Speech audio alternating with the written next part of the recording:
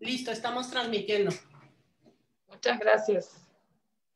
Bueno, muy buenos días eh, a todas y a todos quienes están eh, conectados vía virtual y a quienes están como panelistas en esta mesa. Les voy a dar la bienvenida a la cuarta mesa de este vigésimo séptimo coloquio eh, que organiza el CIEC este año y al igual que el anterior, co-convocamos con el Colegio de México el programa interdisciplinario de estudios de género del que, del que soy coordinadora. Mi nombre es Cristina Herrera y eh, me da muchísimo gusto haber eh, sido convocada para tanto participar en, el diseño de este coloquio como para moderar esta mesa, que es la cuarta, decía, del coloquio internacional de estudios de género. La mesa que, que tenemos hoy eh, es, una de las, es, es, una continuidad de la reflexión que se viene dando desde que comenzó el, martes este coloquio, donde tuvimos diálogos magistrales y diferentes temáticas en distintas mesas alrededor de las violencias contra las mujeres en América Latina en particular, en, un, en una cosa que le hemos llamado eh, un, clima de guerra o una época de guerra, eh, un poco parafraseando a Rita Segato, que habla no de una guerra convencional en el sentido de una guerra entre estados, sino una guerra más informal, eh, en, donde hay eh, percepción de amenaza y percepción de, de, que algo está fuera de orden y hay que colocarlo en su lugar. En este marco, eh, la mesa se llama violencia y lenguaje porque queremos concentrarnos un poco más en qué relación hay entre el lenguaje o los lenguajes y las violencias.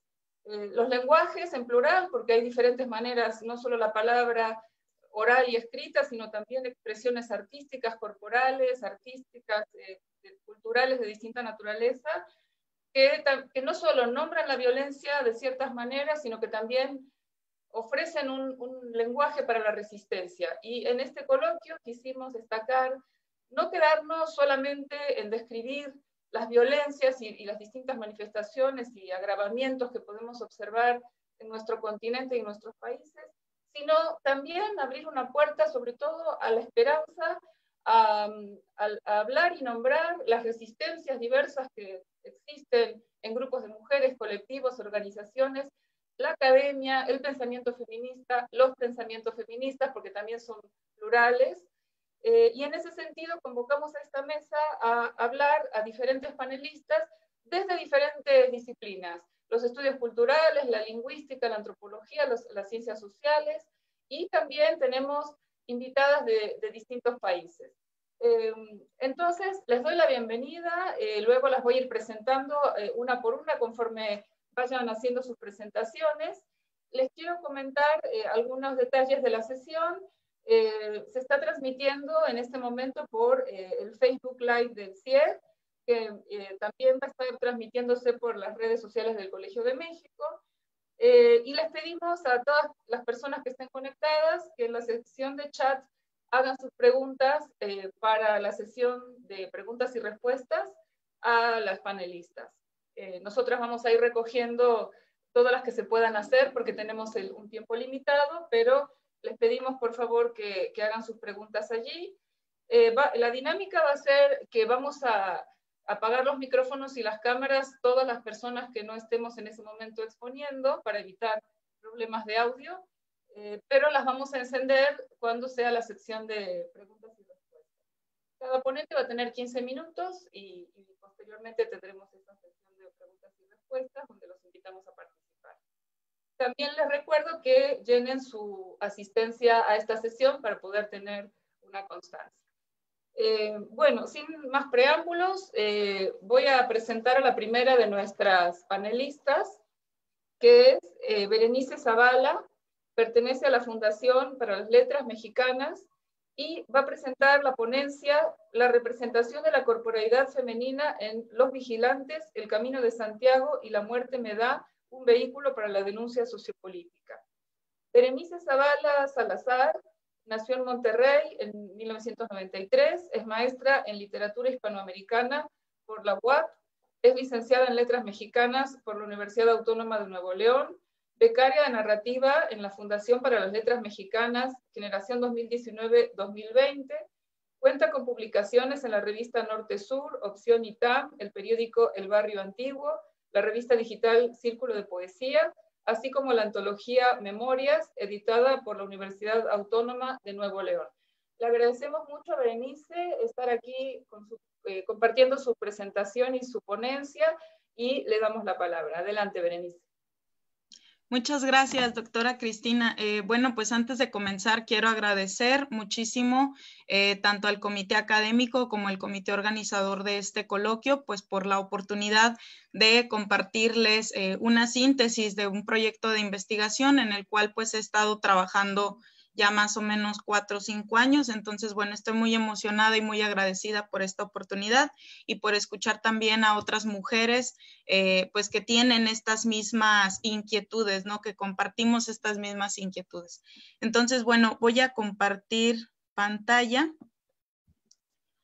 para presentarles. Ahí está. Creo que ya se está compartiendo, ¿verdad? Bueno, pues em, vamos a ver. Mm. Hay una disculpa.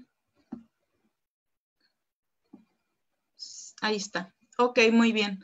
Eh, bueno, pues sí, eh, yo les voy a compartir esta síntesis eh, de este proyecto de investigación, porque bueno, forma parte de, mi, de lo que fue mi tesis de maestría, pero ciertamente pues por el tiempo no me va a alcanzar a cubrir en su totalidad así cada uno de los apartados que yo trabajé, ¿no? Entonces, esta pues es, un, es una pequeña probadita, si se puede decir, de lo pues más relevante que he encontrado en la investigación. Bueno, eh, pues, Primero que nada, les comparto el corpus narrativo en el que yo eh, trabajé este proyecto de investigación. Eh, lo estuve trabajando en las siguientes obras narrativas, que son Los Vigilantes de Diamela El Tit. Es una autora chilena, publicado este libro pues en 1994. El Camino de Santiago, que es de Patricia Lauren Cooling, es una autora tamaulipeca. Eh, reside en Monterrey desde hace muchos años, es del año 2000 eh, Cristina Rivera Garza, que pues es mexicana, y el año de publicación del libro La muerte me da es del año 2010, 2007, perdón. Entonces, eh, bueno, ahorita voy a explicar por qué es relevante tanto las nacionalidades de las autoras o el lugar de publicación, tanto como eh, pues el año de publicación, ¿no? Bueno, el objetivo general de esta, de esta ponencia y de este proyecto de investigación, pues es analizar la representación de la corporeidad de las personajes principales a través del uso del lenguaje narrativo como una herramienta crítica para la denuncia sociopolítica. Es decir, eh, pues mi tesis general de este proyecto de investigación es que a través de la representación de las corporeidades de estas personajes, eh, y en su conjunto con la estructura narrativa y el lenguaje literario empleado en cada una de las obras, pues eh, se nos propone eh, una denuncia sociopolítica, ya sea una denuncia sociopolítica, un discurso de resistencia o incluso pues una visibilización de ciertas problemáticas latinoamericanas que pues lamentablemente nos, nos aquejan, ¿no? Bueno, eh, de aquí parte pues, mi idea general. Yo relaciono que el cuerpo eh, de las personajes, en, este caso de las obras literarias, pues pasa por los siguientes elementos, ¿no? Una cuestión es el lenguaje literario, otra cuestión es pues la literatura como tal, porque nosotros, eh, o bueno, yo considero que la literatura es también un discurso social, ahorita vamos a explicar eso un poquito por qué. Eh, la literatura como un discurso social en donde también existe una representación eh, del cuerpo, de las corporeidades y su relación con el contexto sociohistórico, ya sea el contexto sociohistórico desde donde se está escribiendo la obra, o eh, desde donde ha sido recibida esta obra. Ahorita vamos a explicar por qué esa relación, por qué va a ser importante esa relación entre, entre estos eh, tres elementos y qué tienen que ver con el cuerpo o con la representación de las corporeidades, pues femeninas, ¿no? En este caso. Eh, bueno, algunos de los conceptos teóricos en los que yo me apoyo, pues son los siguientes. yo me apoyo del concepto del aparato del género, pues de Judith Butler, eh, me apoyo también del concepto de biopoder, el cual pues así de forma muy, muy sintetizada pues nos comparte que eh, esto del biopoder hace referencia a formar parte de las tecnologías políticas, el cual excluye ciertos tipos de cuerpos, ¿no? Eh, socialmente, el aparato de Estado, etcétera, pues excluye ciertos cuerpos. Bueno, ¿por qué es esta exclusión de, de, ciertos cuerpos o de ciertas representaciones de las corporeidades? Eh, también apoyo del concepto de tecnologías del género, que pues es de Teresa de Lauretis. Eh, ella nos habla un poco sobre los discursos y aparatos ideológicos que, pues bueno, tiene el Estado, retomando un poquito a Althusser, pero ella lo resignifica y pues aporta un poquito más a este concepto. Y de aquí nosotros nos apoyamos para decir que bueno, la literatura también es un discurso social, porque la literatura de cierta forma legitima o no cierto tipo de cuerpos eh, al momento de representar en su literatura cierto tipo de cuerpos, ¿no? Porque quieras o no, pues eh, la literatura también hace este tipo de representaciones, ¿no? Ya sea para deconstruir o para legitimar, puede ser eh, cualquiera de los dos, ¿no? Y también nos apoyamos del concepto de experiencia. Este concepto va a ser eh, muy importante porque aquí nos hacemos la pregunta de cómo nos subjetivamos, ¿no? ¿Cómo subjetivamos nosotros nuestras propias eh, identidades, ¿no? Eh, de aquí me apoyo pues de Joan Scott y de Teresa de Lauretis. Y bueno, todos estos conceptos yo los englobo en general con un concepto que también es de Teresa de Lauretis, el sujeto múltiple, ¿no? Eh, los englobo con este concepto porque en mi hipótesis, pues em, lo esencial de estas representaciones de las corporeidades buscan deconstruir, se representa, se realiza esta visibilización de las problemáticas latinoamericanas eh, de género, eh, como la violencia física, la agresión sexual, los feminicidios, etcétera, porque busca no solamente eh, visibilizarlo, sino también pues aportar una representación sobre, sobre este tipo de cuerpos ya más específicos, ¿no? Entonces, eh, bueno, eso es en la parte de ahí. Y lo que yo les voy a compartir aquí, eh, es una, una pequeñísima, pequeñísima parte, pues es el capítulo 2 de mi, de mi proyecto de investigación, ¿no? de mi tesis. aquí en cada uno de ellos lo relacioné de la siguiente forma les di el siguiente eh, nombre a cada uno, ¿no? Bueno, a los vigilantes, mi propuesta es que eh, en la novela de los vigilantes de Diamel El Tit existe una representación de las corporeidades desde la resistencia. En el Camino de Santiago, por su parte, vamos a encontrar los alter ego de la violación. Ahorita explicaré por qué. Y en La muerte me da estaremos, eh, bueno, yo lo titulé como la castración poética. Entonces, vamos a ver cada uno de ellos. Primero les quise eh, traer una cita general de cada uno de los textos. Los vigilantes, dice, él realiza con su cuerpo una operación científica en donde se conjugan las más intricadas paradojas. Porque dime, ¿no piensas acaso, al igual que tu hijo, que el cuerpo es el reducto de la ceremonia? Bueno, este es un fragmento de los vigilantes. Ahora uno del Camino de Santiago. Éramos uno solo, el lenguaje diseñó el delta maravilloso que une los sentidos al pensamiento. Nada podía pensar que no fuera filtrado en la arena de la lógica, y si acaso alguna mirada absorta al crepúsculo abría una fisura, la sellaba con la risa. Y bueno, eh, por último, la muerte me da.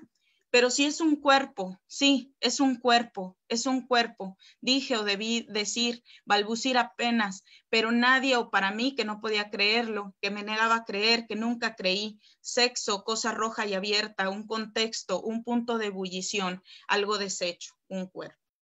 Entonces, eh, bueno, ¿cómo analizo yo eh, cada uno de los textos? Pues aquí tenemos a los vigilantes, eh, bueno, aquí los vigilantes hacen una propuesta general sobre el concepto de las maternidades, ¿no? ¿Qué es ser madre? Y se hace la pregunta también, no solamente qué es ser madre, qué es ser mujer dentro del constructo eh, social, ¿no? También ahí vamos a tener un poco una metáfora sobre los cuerpos que escriben, sobre los cuerpos periféricos, eh, que nosotros llamamos entre vigilantes y desamparados, Y por último, larva criatura, la deconstrucción de la escritura. Esto lo hace la autora a partir del personaje del hijo, que, eh, a la cual le otorga ciertas características de la monstruosidad, que también es un elemento que nosotros eh, vamos ahí investigando y tratando de deconstruir o de explicar el por qué se encuentra ese tipo de corporeidad específica en los textos eh, o en este texto específico de Diamel El Tit. Bueno, aquí hay una cita de ella. Dice, con tus juicios quieres hacer de mí la imagen de una mujer que miente, una mujer que miente impulsada por un creciente delirio, ¿no? Eh, son cartas que escribe esta madre a su ex esposo y aquí podemos encontrar cómo ella se va dando cuenta eh, a lo largo en su proceso de escritura, va a ir reflexionando sobre, sobre su posición como mujer y como madre, ¿no? Bueno, en el Camino de Santiago, que yo nombro los alter ego de la violación, pues analizamos la estructura de la novela, la cual se encuentra escrita eh, por dos personajes, un personaje que es Mina y otro personaje que es Santiago. Mina y Santiago son alter egos eh, que tiene la, la personaje y son los que nos van narrando la historia. Esto va a ser muy importante porque nos vamos a enterar a lo largo de la narración que esta personaje sufrió una violación, eh, fue, fue víctima de un abuso sexual, ¿no? Entonces, esto va a ser muy importante en ese sentido. Ahí vamos a estar... Eh, tomamos a estas dos representaciones, a estas dos voces, Santiago y Mina, como la reconstrucción de la experiencia. Eh, también vamos a hablar de la performatividad de los cuerpos, cómo esta mujer busca eh, de alguna forma, pues, em, formar parte de la sociedad y de alguna manera, em, pues ahora sí que tratar de sobrellevar esta violación que ella todavía no, no, no puede ser consciente, ¿no? O, no puede tratar de ser consciente al 100%. Y por último, pues tenemos el camino del abuso sexual, de la violencia de género y cosas peores, en donde ya aterrizamos un poquito las representaciones de estas corporeidades que vemos en la novela, pues a nuestra realidad, ¿no? Y aquí tenemos un ejemplo. Viendo tortillas, Ina y yo descubrimos las delicias del tacto. Con la ayuda del hombre y el clítoris dilatado, todo explotó en cientos de pequeños soles. Esto lo dice Mina, esto es narrado desde la perspectiva de Mina. Aquí vamos a tener eh, en contraposición cómo lo narra la perspectiva de Santiago. Santiago nos dice, al regresar con el kilo de tortillas te intercepta de nuevo, te pide una y dice que te espera al día siguiente. Entonces perdimos algo más que una moneda. Aquí están las fotografías cuando lloras y pataleas para no ir a la tortillería, es decir, la contraposición, ¿no? De la realidad que todavía la personaje no se acepta al 100% a reconocer, es este proceso, ¿no? De, de concientización, concientización, perdón. Y bueno, acá ya tenemos la muerte me da, que es eh, la castración poética, ¿no? Eh, nosotros primero nombramos este apartado como eunucus, una aproximación a la muerte me da, eh, también vamos a estar hablando sobre la representación de la corporeidad castrada, porque son hombres asesinados que encuentran en la vía pública sin su miembro, es decir, pues castrados. También hablamos sobre la, estructura de la obra eh, narrativa, la cual pues va a tener características de la posmodernidad, ¿no? Es, una, es un texto literario, es un libro que incluye un ensayo de la misma autora, hace otro, otro juego metatextual con una antología poética que ella misma crea. Eh, la realidad sí se encuentra publicado bajo el editorial Bonobos. Y, bueno, también tenemos eh, la castración simbólica y por último, la víctima siempre es femenina. Acá tenemos eh, un ejemplo de la cita. Dice, sí, estoy al tanto de que faltaba el pene, mutilación, hurto, algo que no está. Estoy al tanto de todo eso. Sí, es una cosa terrible contra los muertos. No puedo más, estoy segura. Una cosa terrible, sí, contra los muertos, ¿no? Eh, bueno, ¿a qué emula? Nosotros decimos, o bueno, en nuestra hipótesis, argumentamos que este tipo de cita o este tipo de representación de, de corporeidad de hombres castrados encontrados en la vía pública, nuestra hipótesis es que pues emula a todas las víctimas de feminicidio, que pues así son arrojados sus cuerpos, ¿no? A la vía pública y demás. Por eso la víctima siempre es femenina, ¿no? Ahí es un juego, eh, tanto con el lenguaje de víctima, agrega la, pues el artículo la siempre va a ser femenino, y eh, pues bueno, también apela a una realidad tan lastimosa como son los feminicidios, ¿no? Bueno, eh, las conclusiones abiertas a las que llegamos, y digo conclusiones abiertas porque nos dan para un siguiente eh, proyecto de investigación, pues son las siguientes, ¿no? De esta comparativa de, de las tres obras eh, analizadas, pues encontramos las siguientes, em, las siguientes similitudes, que creo que es lo muy importante de este proyecto de investigación. Bueno, encontramos primero que existe una ausencia del nombre propio en la personaje principal. Eh, las personajes principales, que son femeninas, carecen de un nombre propio. También encontramos la temática de la locura en las personajes principales, eh, ya sea, siempre hay como un dejo de que tal vez están perdiendo la razón, de que tal vez tienen un problema mental, etcétera. A esto nosotros lo hemos denominado como feminización de la locura, ¿no? Eh, también encontramos el aspecto socioeconómico de las personajes principales. Si bien no son, eh, podríamos decir, no, no viven en una precariedad absoluta, pues tampoco viven, eh, tampoco pertenecen a un estatus alto, ¿no? Económico, por así decirlo. Es también es otro aspecto. Nosotros lo hemos denominado feminización de la pobreza. Y por último, lo que creemos que también enlaza a estos tres textos y que también es muy importante mencionar, pues es la denuncia político-social en las obras seleccionadas, las corporeidades de los personajes como medio de reflexión y discurso de resistencia de la vulnerabilidad eh, corporal. Y bueno, ya por último, pues ya nada más decimos que este tipo de representaciones pues eh, van encaminadas precisamente a esto, a la visibilización y pues a la reflexión de cada uno de nosotros en nuestras propias identidades. Y pues bueno, eso sería este. Muchas gracias.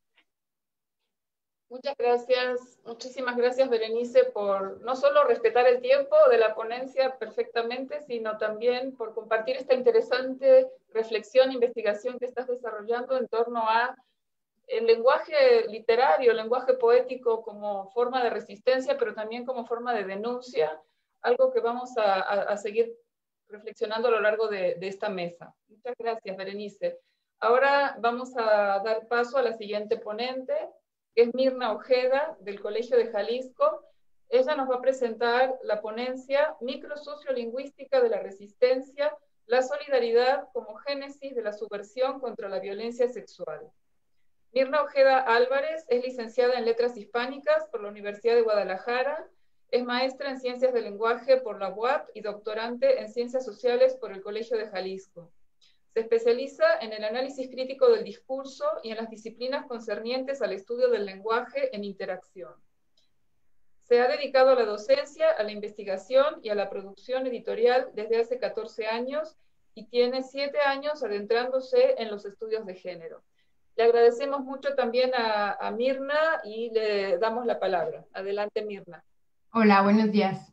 Bueno, yo también quiero eh, empezar agradeciendo esta oportunidad eh, de presentar eh, algunos de los resultados que obtuve de mi tesis doctoral, en la cual realicé básicamente un análisis sociolingüístico pragmático de cinco conversaciones o entrevistas narrativas realizadas en grupos de dos o tres mujeres que compartieron sus experiencias de acoso y violencias sexuales en espacios públicos como la calle y el transporte, pero también las universidades, en bares, en plazas y en otros espacios públicos, ¿no?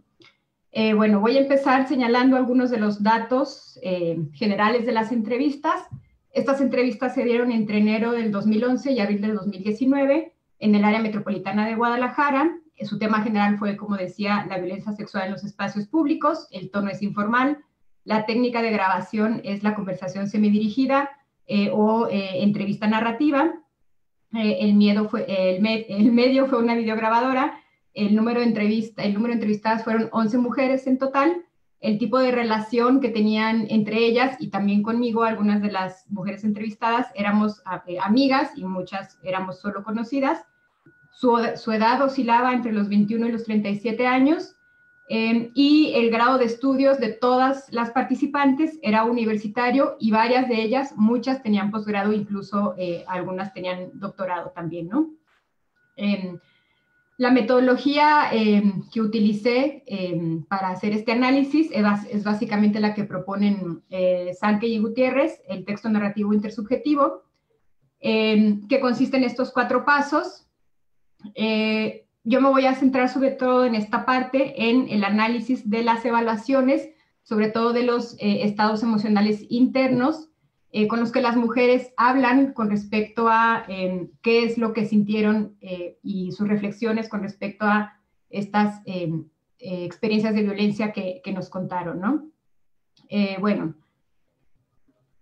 antes de empezar entonces con, a mostrar esto, quisiera hablar un poquito sobre esta organización secuencial que subyace a todas las, a las, cinco, a las cinco entrevistas conversacionales que realicé eh, y que básicamente se conforman de, tres partes. Eh, el anuncio en el que la hablante en turno em, pide permiso para tomar un turno largo para contar la historia, luego la historia en sí misma en la que el hablante eh, desarrolla toda su, toda su, todo su relato, em, forma parte de este relato la evaluación, este em, juicio de cierre retrospectiva en la que evalúa toda, la, toda su experiencia desde el presente de la interacción y por último, la evaluación relativa, en la que eh, el hablante siguiente, el hablante que toma la palabra, em, emite un juicio eh, en relación a esta evaluación previa que hizo la, la hablante, ¿no?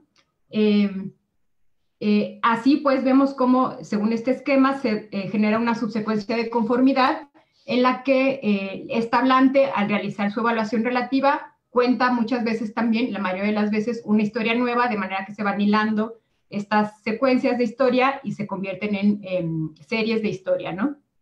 Eh, sin embargo, bueno, esta evaluación relativa eh, eh, nunca se da o nunca se llega a un acuerdo de manera directa o de, manera inmediata, ¿no? Sino que siempre hay argumentos, versiones de insistencia o, o propuestas de enmienda, como señalo acá, que hacen que esta em, organización secuencial se amplíe. Eh, es aquí entonces donde se insertan estas evaluaciones relativas prioritarias de las que vamos a hablar a, continuación, ¿no? Eh, lo que estoy intentando señalar entonces es que hay un proceso de negociación por medio del cual las mujeres em, producen solidaridad, em, no de manera automática, sino a partir de un proceso, ¿no? Y esto es importante porque hay muchos autores, desde Arendt, eh, pasando por em, James Scott, eh, Fernández Poncela, que señalan que esta, em, esta solidaridad que se produce desde los grupos de subordinados antes de momentos, antes de rebelarse o de generar una, una revuelta organizada, se da precisamente desde, estas, eh, desde esta generación de solidaridad, ¿no? Eh, sin embargo, es importante desde la lingüística, o para mí, desde la lingüística, es importante señalar que no es un proceso automático, sino que son negociaciones por medio de, las cuales se genera una intersubjetividad, ¿no?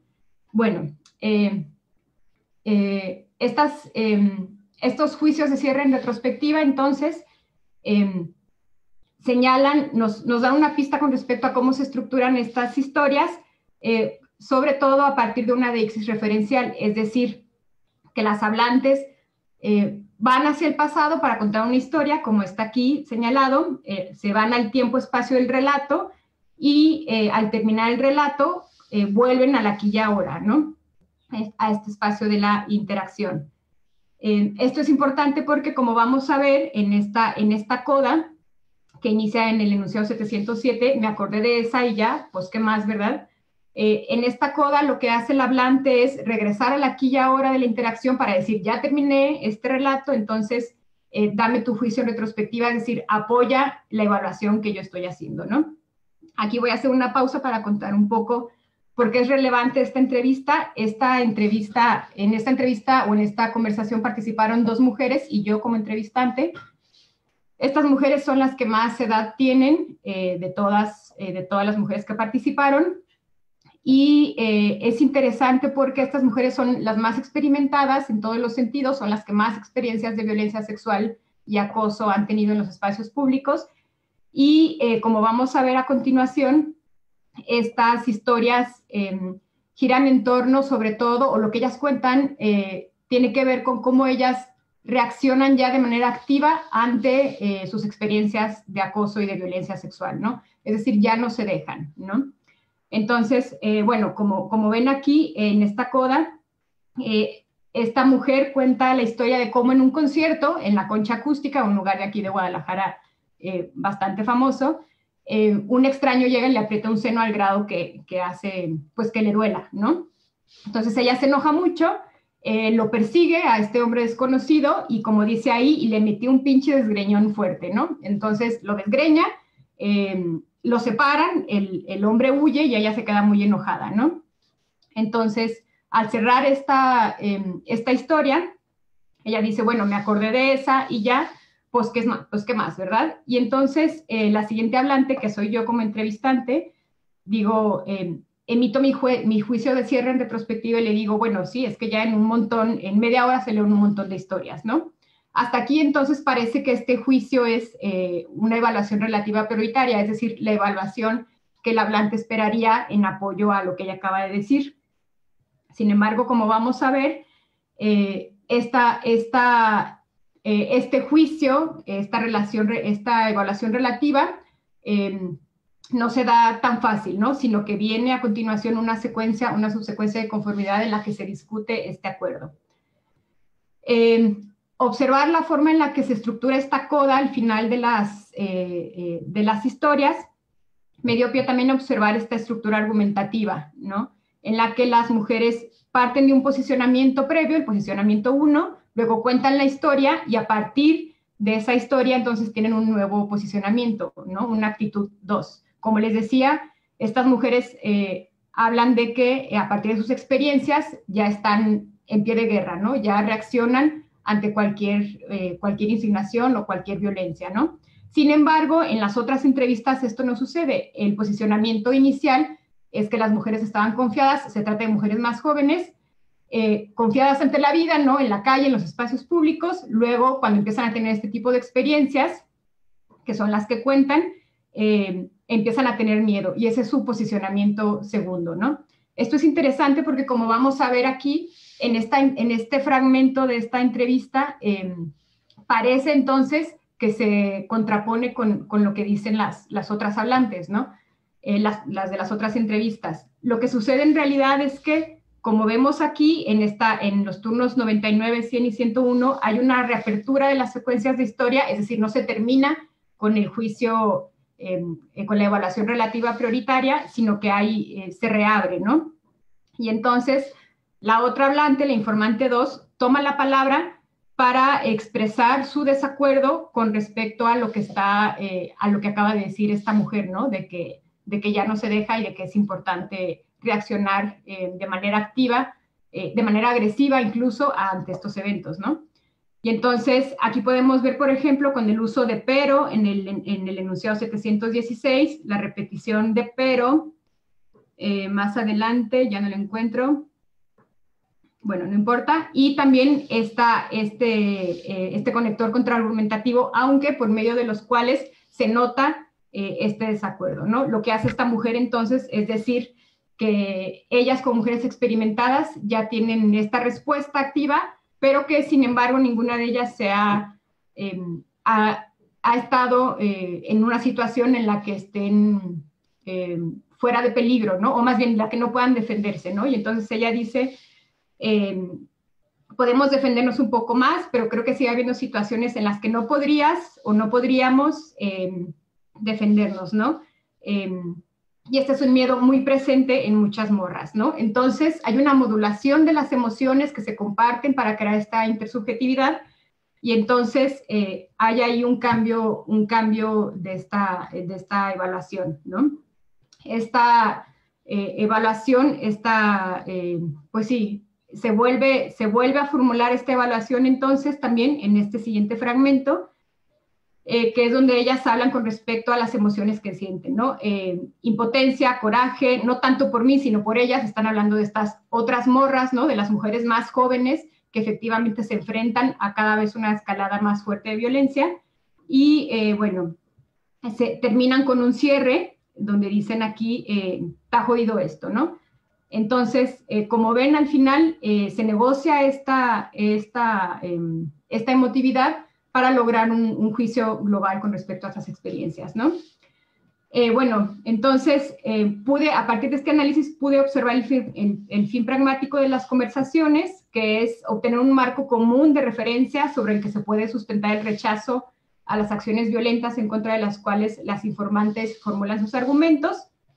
Esta negociación de la emotividad, entonces, se, eh, produce a partir del acuerdo una solidaridad, ¿no? Y como señala Scott, la idea fundamental es que una subcultura de la resistencia o una contracostumbre es forzosamente un producto de la solidaridad entre subordinados. Este sentimiento co-construido de miedo y de enojo, eh, entonces, eh, deriva en la solidaridad eh, y se produce un, sentimiento de segundo nivel que sea la indignación con respecto a la carencia de lo debido, es decir, con respecto a este derecho humano de las mujeres a vivir en la tranquilidad, ¿no? Este posicionamiento sentimental que surge de la negociación y la estructura argumental que subyace a la formulación de las narraciones de las mujeres para sostener dicho acuerdo se interpretan entonces como el primer acto de resistencia eh, una simiente de una posible acción colectiva que, como señala Fernández Poncela, aunque no es garantía del mismo, conduce luego al movimiento social. Y bueno, básicamente eso sería todo de mi parte.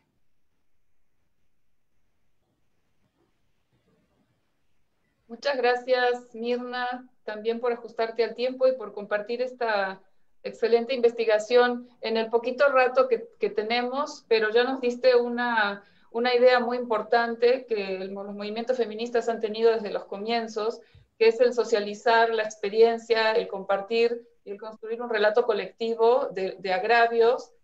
Y con esto podemos desnaturalizar y, como dices muy bien, crear solidaridad, crear posibilidades de denuncia, crear indignación. Eh, vamos a continuar dialogando sobre estos temas que ya estamos poniendo sobre la mesa y eh, vamos a, a darle la palabra a la siguiente panelista del día de hoy. Es Alicia Antonioli. Le damos la bienvenida. Le agradecemos también haber enviado su trabajo a este diálogo. Eh, ella es de la Universidad Federal de São João del Rey, en Brasil, y nos va a presentar su ponencia titulada Nuestros primeros asedios, o sea, nuestros primeros acosos, eh, un estudio de casos sobre la ONG Think Olga en la denuncia de violencia contra las mujeres en Brasil. Alicia Antonioli es estudiante de comunicación social en la Universidad Federal de São João del Rey, Brasil. Ha realizado un intercambio en la Universidad Autónoma del Estado de Hidalgo en el 2020 y una movilidad académica en la Universidad Federal de Bahía en, en Brasil en 2018. Fue becaria de proyectos culturales como asesora, productora cultural y fotógrafa. Actualmente es becaria de investigación sobre feminismo digital en la misma universidad. Entonces le damos la bienvenida a Alicia y te damos la palabra. Adelante. Muchas gracias, Cristina. Eh, les comparto mi pantalla. Ahí está. Bueno, como han dicho, eh, yo soy estudiante de licenciatura de comunicación Em, y hoy vengo a presentarles ese estudio que he hecho en la asignatura de metodología en mi universidad. Y yo, tengo el tuve el objetivo de discutir la influencia del movimiento feminista brasileño en las denuncias de acoso. Em, y bueno, ¿por qué he elegido ese tema? La, la, vida de las brasileñas en Brasil, así como en México, eh, la vida de las mujeres en Brasil, así como en México, es Em, la violencia está presente todo el momento. Como eso podemos observar estos datos y traigo también que Brasil y México son los países en que más se mata por la cuestión de diversidad sexual. Brasil es el primero y México el segundo. Y yo aquí enfoco en el campo de las mujeres, pero problematizando la cuestión de las mujeres, como ya ha dicho muy bien la doctora Lucía el día de ayer en la mesa 3 que, bueno, aquí en Brasil hay los datos de que una mujer es violada cada 10 minutos y en 2018, por ejemplo, una mujer fue muerta en feminicidio cada dos horas por motivos de género. Y de entre esas mujeres, 68% son negras. Entonces la cuestión de la interseccionalidad es muy importante. Aquí en la diapositiva hay los datos igual de que de 50% de las víctimas eh, de, 100% de las víctimas, 50% son niñas de hasta 13 años y es el tema que, toca, que tocamos en esa presentación. que es el acoso en la infancia. Em, para discutir estos datos junto a la realidad de Brasil, em, he estudiado algunos temas y algunos autores y pongo una parte de ellos y ellas aquí. Y el primero fue Meg Lujan, que ya es de, de 1964, que hablaba de los medios de comunicación como extensiones del hombre, de los seres humanos, ¿no? Eh, para, la siguiente, eh, para los siguientes estudios estudiado igual eh, Donna Haraway, que es considerada como la madre del término ciberfeminismo y ha estudiado el, mito del cyborg, o sea, un ser que es mitad ser humano y mitad máquina. Y según ella, allá en los ochentas, las historias de las feministas ciborgues tienen la tarea de recodificar la comunicación y la inteligencia para subverter el comando y el control que, como sabemos, está en las manos del patriarcado, ¿no? Em, también he estudiado la cuestión de la cibercultura, que sería el espacio virtual donde ocurren esas denuncias y esas campañas del ciberfeminismo. Y para eso he estudiado Pierre Levy y según él, en estos espacios ocurren fenómenos de inteligencia colectiva, que sería un pensamiento sostenible que ocurre por medios de conexiones sociales a través de las redes abiertas y del Internet. ¿Por qué él dice redes abiertas y todavía no redes sociales? Porque él va a hablar de eso en los finales de 1990, o sea, en 97 estaba hablando de eso y todavía no habían las redes sociales como las, las conocemos hoy. Em, también he estudiado la que es de Harry Jenkins, ya un teórico más cercano de 2009, y él habla que con la diversificación de los medios de comunicación, eh, es políticamente importante esa diversificación para que distintas voces sean escuchadas. Y ese concepto habla con el lugar de habla, que es un concepto de una filósofa brasileña que se llama Jamila Ribeiro. Eh, y ella dice que aún con los límites que, el espacio virtual tiene, las voces que, son, que fueron y son eh, históricamente discriminadas tienen espacio para existir y para resistir. Bueno, sobre la campaña, eh, la campaña fue lanzada en 2015 y su origen viene de que eh, en este año, en el programa MasterChef Kids, una, una chica que estaba participando, que tenía apenas dos Valentina, eh, recibió en sus redes sociales muchos comentarios con connotación sexual. Y a partir de eso hubo una, hubo una indignación nacional entre todas las mujeres que acompañaron y la ONG Think Olga se propuso entonces a, a discutir eso a partir del hashtag primer asedio, o sea, o sea primer acoso. Eh, y en tres días de campaña eh, la, hubo 82 mil tweets y retweets sobre el primer acoso y a partir de eso, 3.000 historias. O sea, fue una campaña muy grande que abarcó mujeres de diversos lugares de Brasil y, incluso salió del Twitter porque fue donde la propusieron y llegó a Facebook y llegó a medios de comunicación y a la televisión como para enseñar cómo es importante discutir estos temas, ¿no?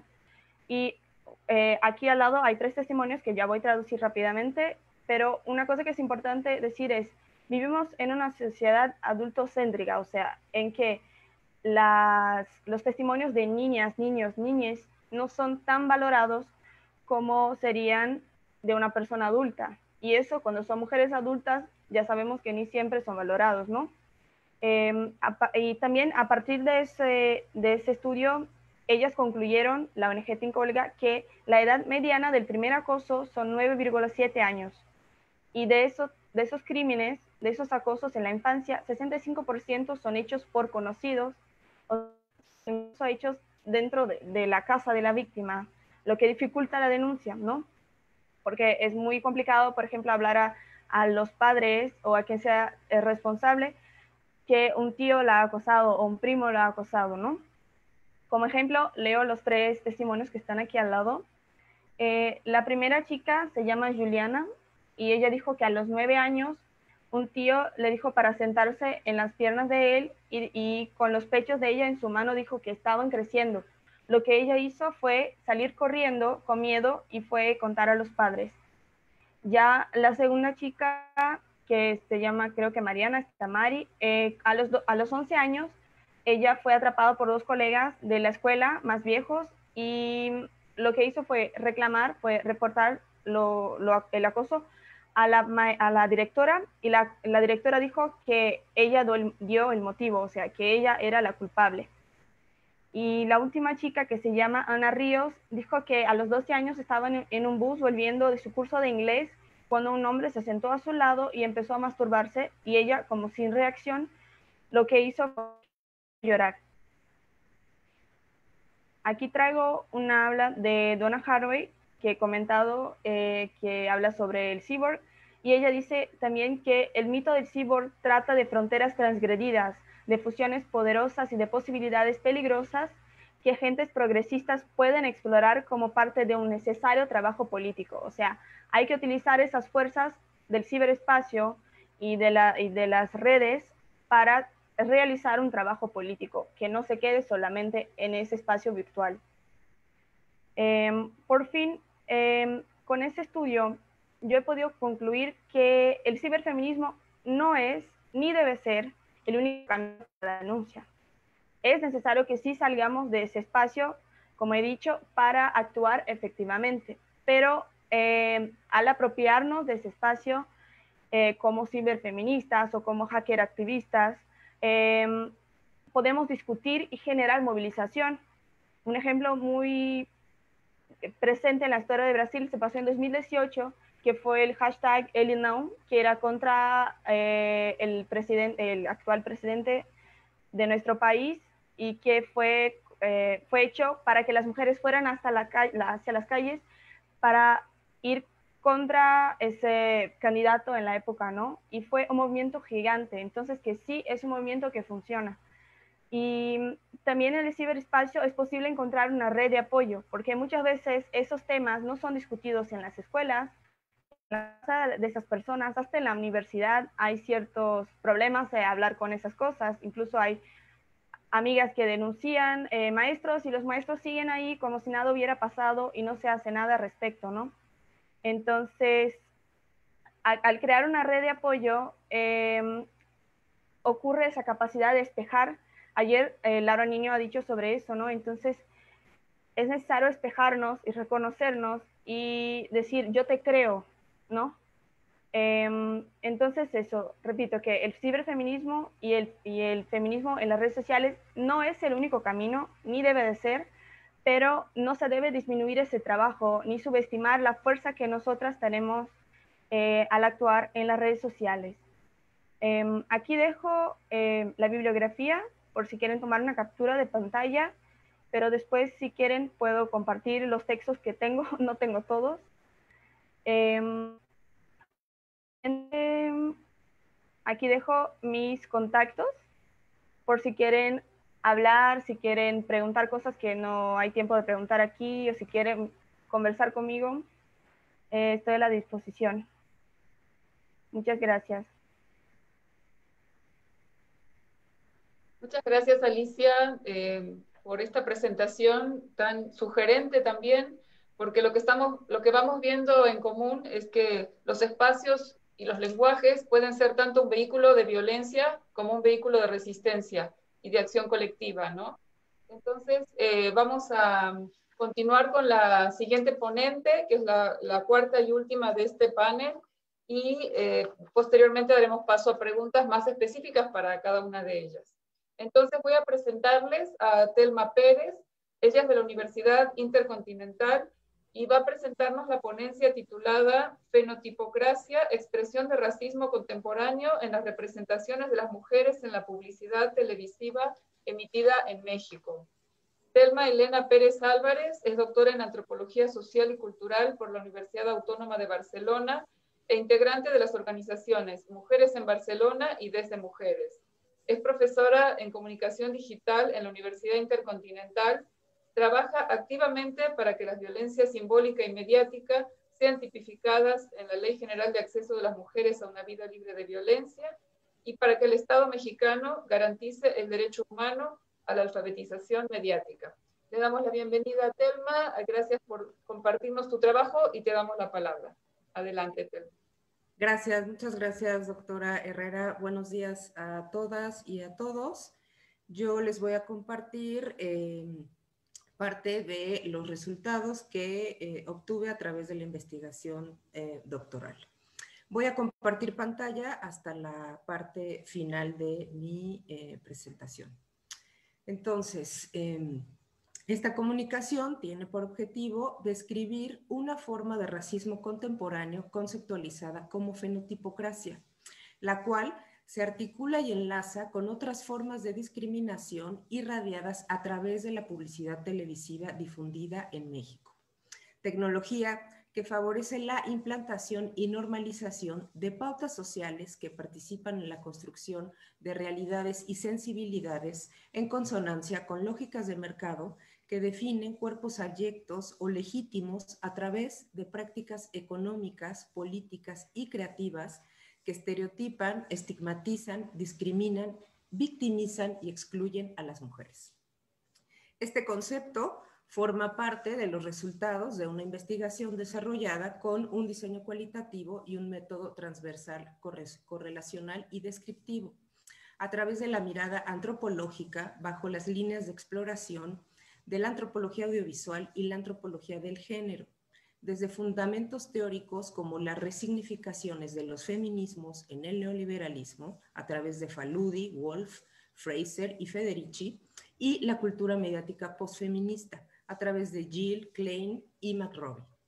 El objetivo del estudio fue analizar las representaciones sobre la apariencia física de personajes femeninos y masculinos representados en la publicidad televisiva comercial e institucional difundida en los canales Azteca 1 y Las Estrellas de la televisión abierta mexicana y su posible relación con expresiones de violencia simbólica contra las mujeres en la modalidad mediática, a través de Galtung, Bourdieu, Segato, Gavarra y Chager.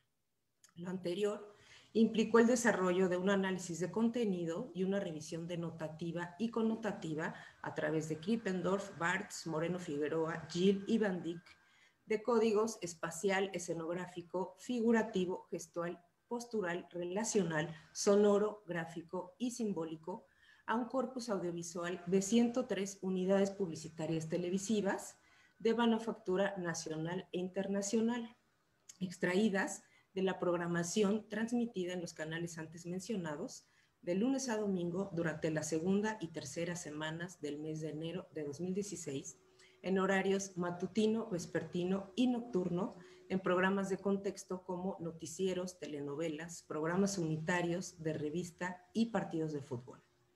El análisis permite obtener un panorama audiovisual que enlaza a 18 sectores con 107 personajes principales, de los cuales 69 son femeninos y 38 son masculinos.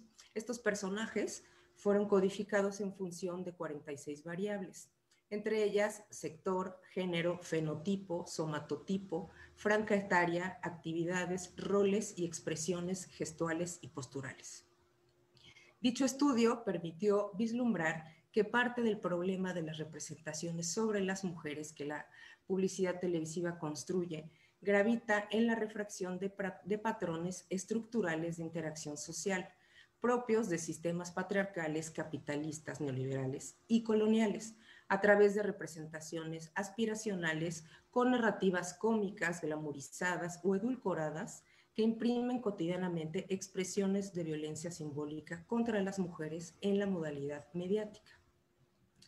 En consecuencia, la fenotipocracia es un ejemplo sobre la, racialización publicitaria de los cuerpos y la delimitación del acceso de personajes femeninos a situaciones concretas a partir de la presencia y ausencia de ciertas características fenotípicas. Voy a hablar ahora eh, de las desigualdades estructurales hacia las mujeres en el neoliberalismo y su manifestación en los productos culturales. El sistema hegemónico patriarcal neoliberal mantiene una sólida resignificación de ideologías y una progresiva imposición disimulada o disfrazada de pedagogías con el objetivo de normalizar y despolitizar desigualdades estructurales.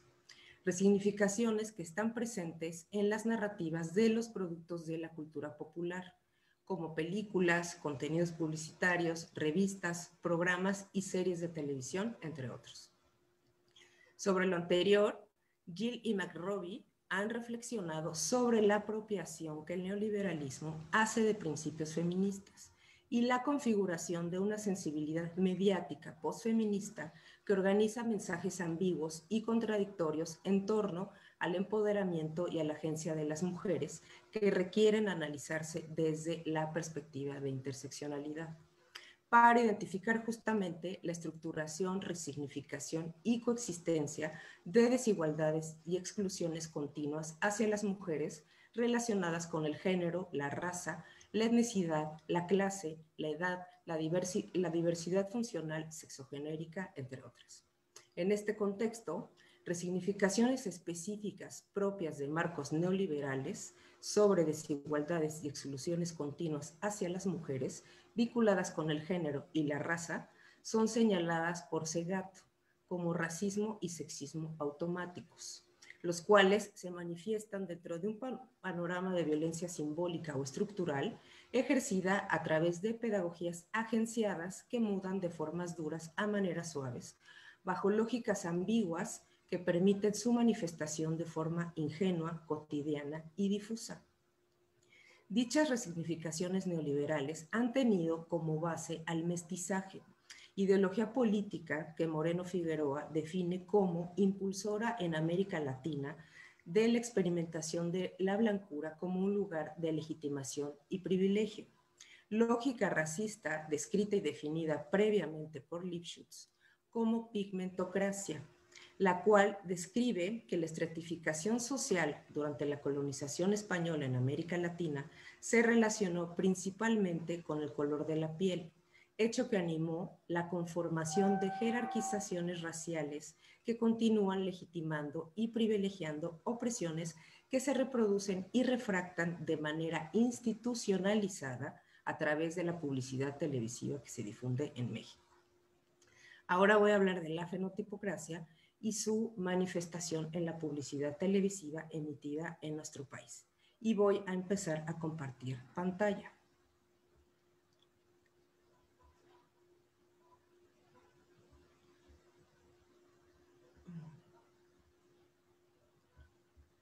Bien.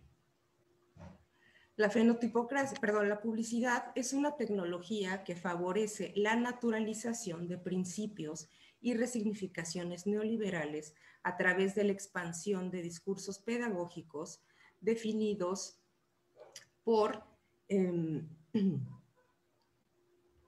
las prácticas económica, ideológica y semiótica publicitaria. Prácticas que determinan la construcción de narrativas audiovisuales en las que intervienen procesos de apropiación de ideas dominantes. En este sentido, las unidades publicitarias televisivas son textos audiovisuales, objetos de conocimiento que mediante un trabajo teórico, metodológico y sistemático permiten decodificar la reproducción del sistema social de territorios en los que se construyen y difunden. Em, el análisis desarrollado al corpus audiovisual de 103 unidades publicitarias televisivas correspondientes con la publicidad comercial e institucional permitió detectar una sobrerepresentación racializada de personajes femeninos. En función de lo anterior, la fenotipocracia refiere una expresión de racismo contemporáneo institucionalizado en México, presente en las narrativas de las unidades publicitarias televisivas analizadas y favorecido por las lógicas legitimadoras del consumo y de los medios de comunicación masiva. La fenotipocracia delinea el establecimiento de relaciones jerárquicas entre personajes con características fenotípicas dominantes como tonalidades claras en la piel, ojos en tonos oscuros, somatotipos mesomorfos, tonos y formas de cabello castaños, lacios y largos en los personajes femeninos y lacios y cortos en los personajes masculinos, frente a personajes con características fenotípicas como tonalidades más oscuras en la piel y somatotipos endomorfos. La particularidad de la fenotipocracia consiste en presentar cuerpos con dichas características fenotípicas en las representaciones publicitarias como una forma sutil o suave de preservar la blancura como objetivo publicitario de representación corporal y como lugar de legitimación y privilegio en las narrativas publicitarias, mediante prácticas estéticas requeridas a las mujeres que representan a los personajes femeninos, como teñir el cabello, el cabello o ajustar el maquillaje para lograr la correspondencia con ese objetivo representativo de la blancura. En, el argot de la industria publicitaria eh, se ha naturalizado el término latino internacional para hacer referencia a modelos con em, las características fenotípicas descritas anteriormente y construir las narrativas publicitarias a través de sus cuerpos para lograr el objetivo representativo de la blancura. Modelos quienes parecieran convertirse en dispositivos para difundir las aspiraciones que las marcas comercializan y con ello favorecer la naturalización de esta suerte de hegemonía étnica neoliberal definida como fenotipocracia susceptible de cooperar con expresiones de discriminación y xenofobia. La operación de la fenotipocracia se observa en dos dominios. El primero, el cualitativo, a partir del número de registros obtenidos de las características ya mencionadas en la muestra analizada. El segundo dominio es el cualitativo, generado mediante el análisis de las narrativas publicitarias perdón, de las narrativas de la publicidad institucional, que em, se construyen a través de personajes femeninos con características fenotípicas como tonalidades más oscuras en la piel y somatotipos endomorfos, a los cuales se ubican en posiciones de inferioridad y pasividad dentro de contextos de precariedad e indefensión frente a personajes masculinos con características fenotípicas como tonalidades más claras en la piel em, y somatotipos endomorfos, eh, frente a personajes masculinos con características fenotípicas como tonalidades más claras en la piel, ojos en tonos más claros y somatotipos endomorfos, quienes informan sobre los programas sociales. Ejemplo de lo anterior son dos personajes femeninos con características asociables con población indígena mexicana. La primera representa a una mujer de origen purépecha, em, quien es reconocida por la UNESCO a partir de su labor como cocinera, a través de una narrativa articulada desde una visión folk y androcéntrica que supedita ese reconocimiento con situaciones de excepcionalidad.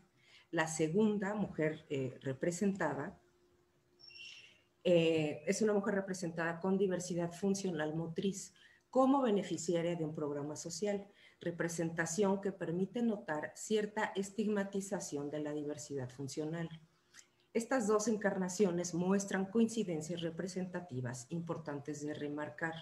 Ambas se llaman Juana y emplean la palabra techito para hacer referencia a una casa coincidencias que evidencian extremos de una amplia franja de posibilidades representativas que podrían involucrar contextos, posiciones y experiencias plurales. Como, conclusión o, a manera de algunas ideas finales, la fenotipocracia es una expresión de racismo contemporáneo propagada en la publicidad televisiva en México a través de narrativas que presentan como avance para las mujeres mexicanas nociones sobre transformaciones resignificadas a modo que oscilan entre el empoderamiento, la felicidad, la desigualdad, la precariedad, la explotación, la estigmatización, la visibilización y la exclusión condicionadas en función de la presencia y ausencia de características fenotípicas dominante en la muestra de unidades publicitarias televisivas analizada, como tonalidades más claras en la piel ojos en tonos oscuros, somatotipos mesomorfos y cabellos lacios y largos. Los resultados del módulo de movilidad social intergeneracional de 2017 mencionan una significativa correlación entre el color de la piel y el grado de riqueza, bienestar y movilidad de la población mexicana. Correlación que, de acuerdo con lo aquí expuesto, se reproduce y refracta en la publicidad televisiva analizada a través de la representación corporal de personajes femeninos y masculinos con las características fenotípicas dominantes antes mencionadas. La confluencia entre las narrativas y las características fenotípicas representadas en la publicidad televisiva constituyen un sustrato para la internalización de la hegemonía patriarcal neoliberal, que de acuerdo con lo aquí descrito, se sostiene y se justifica a través de los cuerpos de las mujeres, favoreciendo la normalización de desigualdades representativas y redistributivas de manera específica hacia las mujeres, concretamente en función de las características fenotípicas dominantes representadas en las unidades publicitarias televisivas analizadas. Por mi parte es todo y les agradezco mucho su atención. Muchísimas gracias, Telma, también por ajustarte al tiempo, porque ahora entonces vamos a poder tener un buen tiempo para preguntas y diálogo, sobre todo intercambio y diálogo. Entonces, eh, les voy a pedir a todas las ponentes que ahora sí enciendan sus cámaras para, para empezar la sesión de preguntas y respuestas, o más bien de diálogo. Em, en primer lugar, bueno, hay varias preguntas para Mirna. Em, no sé si las, hago, hago, tres preguntas juntas para que las puedas responder. Em, la primera, Mirna, es de Celia Martínez que pregunta, ¿podríamos hablar de una experiencia de reacción ante la violencia a más edad, mayor capacidad de reacción? ¿O también incluye, influye perdón, la instrucción de las entrevistadas o ambas? Capacidad de reacción eh, determinada por edad, este, instrucción, etcétera, ¿no? La otra pregunta es eh, de Bren Velázquez, no, perdón, esa no dice de quién, es este, aparte del staff. ¿Aún sigues trabajando en los testimonios y memorias de acoso? ¿Qué te inspiró y con qué te quedaste de estas experiencias de vida? Perdón, la pregunta es de Inés Anguiano. Y la otra pregunta, eh, que es de Lourdes Gabriela Luque, también para Mirna, ¿cuáles serían las principales barreras, si las pudiste identificar, para construir el relato colectivo de los personajes entrevistados? Eh, entonces, si quieres contestar estas y después pasamos a, las siguientes preguntas. Claro, bueno, muchas gracias por sus preguntas. Eh, con respecto a esta, a la primera, em, esta relación entre la edad y la capacidad de reacción, yo digo que sí tiene mucho que ver la edad, pero sobre todo tendría que ver también la cantidad de experiencias que las mujeres han tenido, ¿no? En la mayoría de las mujeres eh, comenzaron haciendo una eh, como una trayectoria de vida, ¿no? Hablando de sus primeras experiencias cuando eran pequeñas, en la adolescencia sobre todo, eh, y coinciden muchas en este camino hacia la secundaria, ¿no? Hacia la escuela, por ahí de los 12, 13, 14 años, que van caminando y viven su primera experiencia de acoso en la calle tal cual, ¿no? O de violencia, ¿no? De manoseo por parte de un extraño, de que les enseñaron el pene, etcétera, ¿no?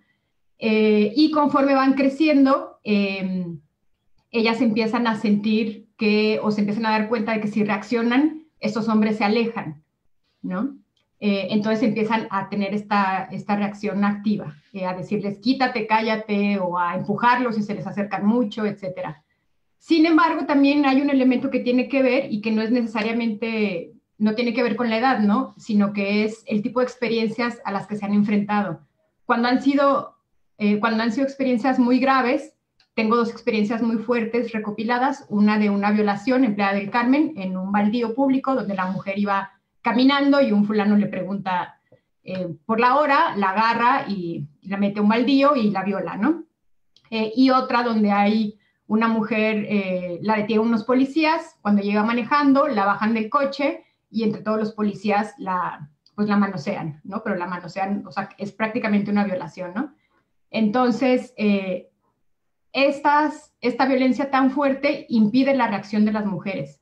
Y entonces ellas, conforme van eh, siguiendo experimentando em, este tipo de, em, acciones violencia, eh, violentas ante su cuerpo, aunque son más leves las demás, eh, ellas siguen paralizándose porque se imaginan el peor de los, de las, la peor de las situaciones, ¿no? Es decir, su referencia es la violación eh, o la agresión, eh, sí, la agresión hacia su cuerpo, ¿no? De manera extrema, entonces ante este miedo ellas se detienen. Creo que también esto es muy importante, ¿no? Que las mujeres que más, eh, más violentadas han sido son las que más miedo tienen y por lo tanto las que menos reaccionan, ¿no?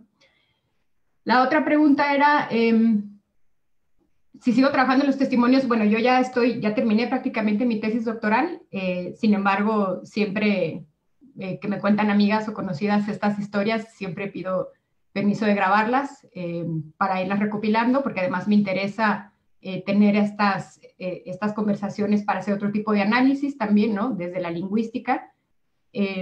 y me quedé con, con experiencia, bueno, más bien me inspiró mi experiencia propia, ¿no? yo soy una mujer de Guadalajara que también desde los 12 años, si no es que antes, he sido acosada y violentada por hombres en los espacios públicos, ¿no? Y no nada más en la calle o, en el transporte, sino también en la universidad, em, en los bares, en los antros, en lugares de convivencia, ¿no? Entonces, em, ante mi enojo y ante cuando empecé a observar que las mujeres, eh, mis amigas conocidas hablaban de esto, eh, fue cuando surgió la idea de hacer esta, esta tesis, ¿no? Em, entonces, bueno, eso es básicamente lo que, eh, lo que, lo que me inspiró, ¿no? Eh, y las principales barreras que identifiqué para construir el relato eh, colectivo de las personajes, de las mujeres entrevistadas, fue yo creo que em, este miedo, o más bien cómo las mujeres se sienten muchas veces incapaces de hablar de sus experiencias, sobre todo cuando han sido demasiado violentas, ¿no? ante desconocidas, porque muchas eran yo opté por este método de la bola de nieve que le llaman, que es pedirle a una amiga que, le dijera a sus amigas que si querían participar, porque eh, cuando las mujeres nos sentimos vulnerables eh, ante emocionalmente, ¿no? Ante personas que no conocemos, pues nos cuesta trabajo contar esas experiencias, ¿no? Sobre todo cuando son experiencias tan graves como una violación, ¿no? Entonces, ¿cómo lloramos ante una desconocida o ante una videograbadora? ¿No? Entonces me pasó mucho que decían, ay, sí, van a llegar tres amigas ya contarte a tres, van a llegar a tu casa o a donde se quedaron de ver para, para la entrevista. Y llegaba una o llegaban dos, ¿no? En lugar de las tres o las más. Porque estas mujeres en algún momento decían, ¿cómo te voy a hablar a ti de esto que no, eh, pues que no es fácil, ¿no? Entonces creo que es esa es una barrera muy fuerte eh, para construir este, este relato. Muchas gracias, Mirna. Bueno, hay muchas preguntas aquí. Eh, voy a tratar de hacerlas todas, eh, pero vamos a ir por partes. Hay una para Telma, que voy a hacer una pregunta para Telma y una para, y dos para, eh, disculpen que estoy viendo aquí el chat. Bueno, hay varias para Telma. la primera, ¿qué opinas sobre, no, disculpa, primero dije que iba a ser para un segundito. Para Alicia. Eh, la pregunta es de Miroslava Chávez para Alicia y es, ¿cuál es la penalidad que existe para los acosadores sexuales de las niñas en Brasil? La otra pregunta eh, es de Ceci Ramírez para Telma. ¿Qué opinas sobre las producciones de Netflix con una narrativa feminista, entre comillas? Eh, y también para Telma, Eduardo Enrique Aguilar pregunta, eh, digamos que superamos la hegemonía fenotípica de la blancura que señalas como fenotipocracia. ¿Acreditas que la publicidad dejará de ser violenta? Pareciese que, por lo que dices, la violencia simbólica de la publicidad no se reduce a los fenotipos, sino a un rasgo interseccional. Me lleva a pensar, ¿no será que la misma publicidad, desde la lógica capitalista, es por sí misma violenta? Bueno, eh, también de Eduardo Enrique para Telma. Eh, ya está, eh, perdón. ¿Dónde podemos encontrar tu trabajo? Bueno, esas vamos a dejarlas acá y luego hacemos una siguiente ronda. Entonces, Alicia, en primer lugar, por favor. Bueno, hay dos leyes para la cuestión de las niñas. una es de, la, es de violación de vulnerable. ¿Se escucha? Es de violación de vulnerable, o sea, de niñas que tienen hasta 14 años. O sea, si, ocurre un acto de violación de niñas de hasta 14 años, em, los hombres pueden ser presos de, 8 a 15 años. pero la verdad es que no se quedan tanto tiempo, ¿no? Em, y hay otra que es de pedofilia, que sería el acto de producir, de dirigir grabar escenas de sexo pornografía eh, con niñas de menos de 14 años. Y eso eh, puede llevar a los hombres a quedarse de 4 a 8 años en la cárcel. Y hay un agravante que se puede poner en eso de pedofilia, que es si solo graban, solo. Pero si graban apenas y guardan ese material en su casa, es una cosa. Pero si lo divulgan en redes sociales o en websites de pornografía, eh, se puede aplicar una regla de más 3 a 6 años. Entonces, tres posibilidades. Gracias, Alicia. Telma. Bien, en, relación con la pregunta sobre las series de Netflix, em, ¿qué opinas sobre las producciones de Netflix con una narrativa feminista? Pues hay que estar muy vigilantes, ¿no? De estas narrativas de Netflix. Mm, estamos en, una época, eh, Judith Basayo lo, ha definido como purple washing. Eh, empresas, instituciones eh, se, apropian o utilizan a las mujeres y a las causas feministas para vender, ¿no? Para obtener ganancias económicas y políticas. Y entonces nos pueden presentar o nos están presentando narrativas en distintos medios de comunicación, narrativas feministas, ¿no? Entonces, aquí hay que estar muy, muy vigilantes y muy atentos y atentas porque no necesariamente todas ¿no? son narrativas eh, feministas o que están en favor del de, em, avance y la libertad o los derechos de las mujeres. El neoliberalismo tiene esa característica, este sistema neoliberal. Varias autoras como Naomi Klein han definido que em, el propio neoliberalismo ha resignificado los feminismos. Para decirlo de una manera coloquial, se trepan, ¿no? Se, han trepado en los feminismos para em, en cuestiones económicas, sociales y políticas, hacer, ¿no? hacernos creer que hay un avance, una mirada feminista, y em, no es verdad, no es así. Lo que intentan o, lo que, o parte de los objetivos de esto, pues es justamente invisibilizar, despolitizar las desigualdades estructurales que experimentamos las mujeres. Entonces, si una narrativa, una serie en Netflix nos presenta a una mujer que ha sido, que es emancipada y es libre, pero a lo mejor eh, tiene eh, cierta eh, obsesión por ideas en función de la pareja tradicional o el amor romántico o está siendo explotada en su trabajo, hay que tener esa mirada para poder distinguir si realmente o si están acorde con lo que los feminismos están buscando. Ahora bien, en relación con la pregunta sobre em, digamos que superamos la hegemonía fenotípica de la blancura que señalas como fenotipocracia. ¿Acreditarías que la publicidad dejara de ser violenta? ¿No será que la misma publicidad desde la lógica capitalista es por sí misma violenta? Sí, ¿no? En, principio, esta, esta publicidad es, eh, genera, ¿no? Eh, genera violencias porque la publicidad, como otros contenidos mediáticos, no se construyen solos la publicidad, estos contenidos mediáticos los construyen personas que como, como, nosotras, como las personas que nos están escuchando, nos están viendo, que han transitado y han sido creados eh, en este sistema, ¿no? Entonces, eh, las personas que participan en la construcción publicitaria, pues tienen también creencias sobre las mujeres, constructos sociales, por un lado, eh, creativos, iluminadores, eh, realizadores, ¿no? Y por el otro lado, las personas que forman parte de las industrias o las empresas comercializadoras, que son a las que les interesa vender el producto, pues también tienen esas creencias y además tienen fórmulas, conocen ya fórmulas que les han funcionado durante años, con las que saben que van a vender un producto. Entonces aquí se articulan varios eslabones, no es únicamente la, realización o la, ejecución publicitaria, sino son los intereses económicos y también políticos que forman parte de estas empresas comercializadoras que pueden llevar años vendiéndonos los productos.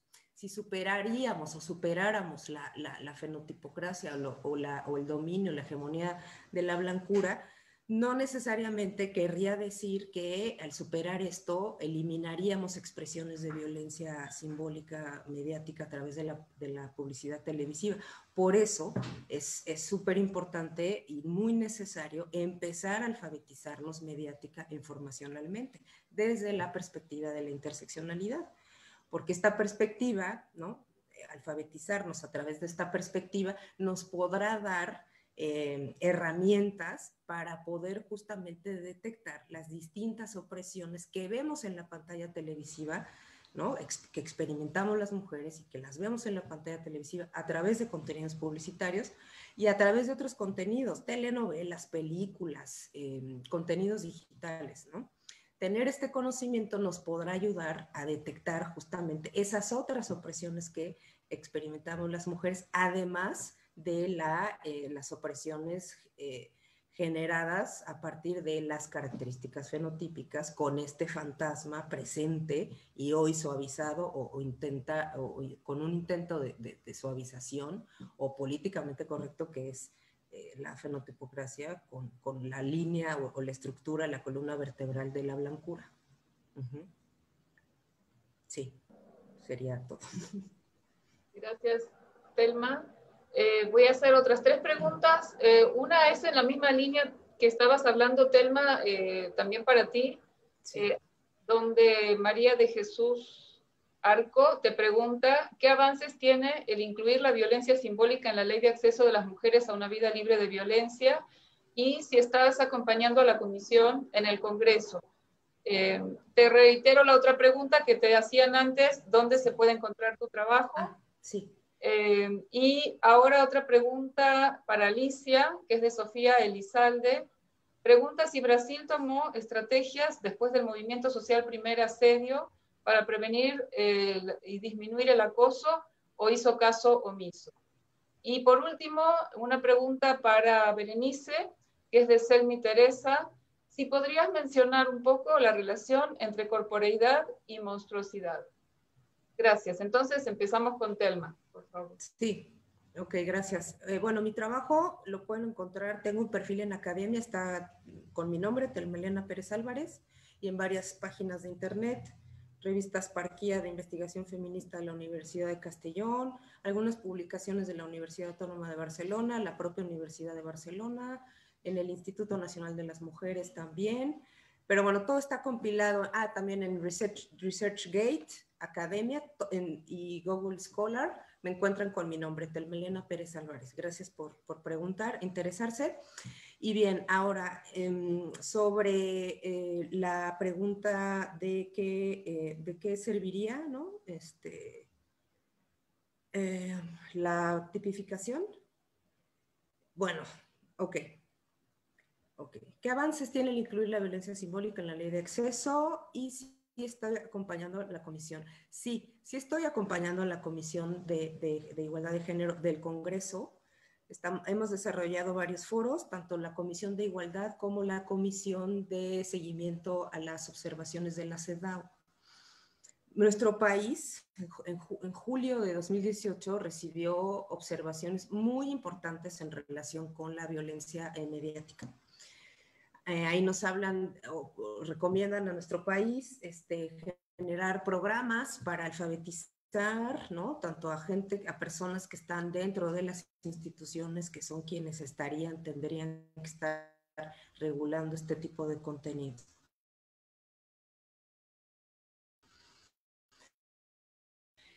Eh, estoy acompañando sus comisiones, sí, claro que sí. Luego, ¿qué, avances tiene el violencia simbólica? Bueno, en primer lugar, revisarla, que, que, desde que en las instituciones también se relican estas formas de violencia. Mm, parte de la investigación de la cual se desprende la presentación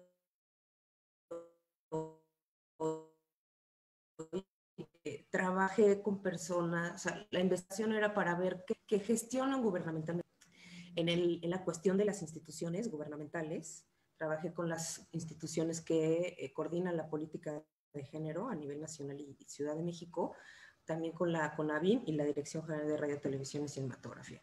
Ahí el estudio permitió descubrir que en estas instituciones las personas también replican esta violencia, esta violencia simbólica. Entonces, ¿de qué va a servir? De visibilizarla, de hacernos conscientes de que esta violencia no nada más está en los contenidos mediáticos, sino que está fuera de las pantallas y que está siendo replicada por las personas que interactuamos de manera cotidiana en los espacios públicos y privados de nuestro país. Además, servirá, ya estando en la ley, pues para poder generar acciones, para que poder prevenirla, ¿no? Atenderla y de manera indirecta la violencia simbólica es tan importante de visibilizarla y generar acciones para su prevención, porque es la base, ¿no? Es la base que permite la generación de otras violencias que sí están tipificadas en nuestro país y que hoy sabemos pues el nivel que tienen, ¿no? De, de este, de, de, reproducción. Entonces, si, si atendemos la violencia simbólica, a lo mejor de manera indirecta podremos atender la prevención de otras violencias. Eh, sería esto, básicamente.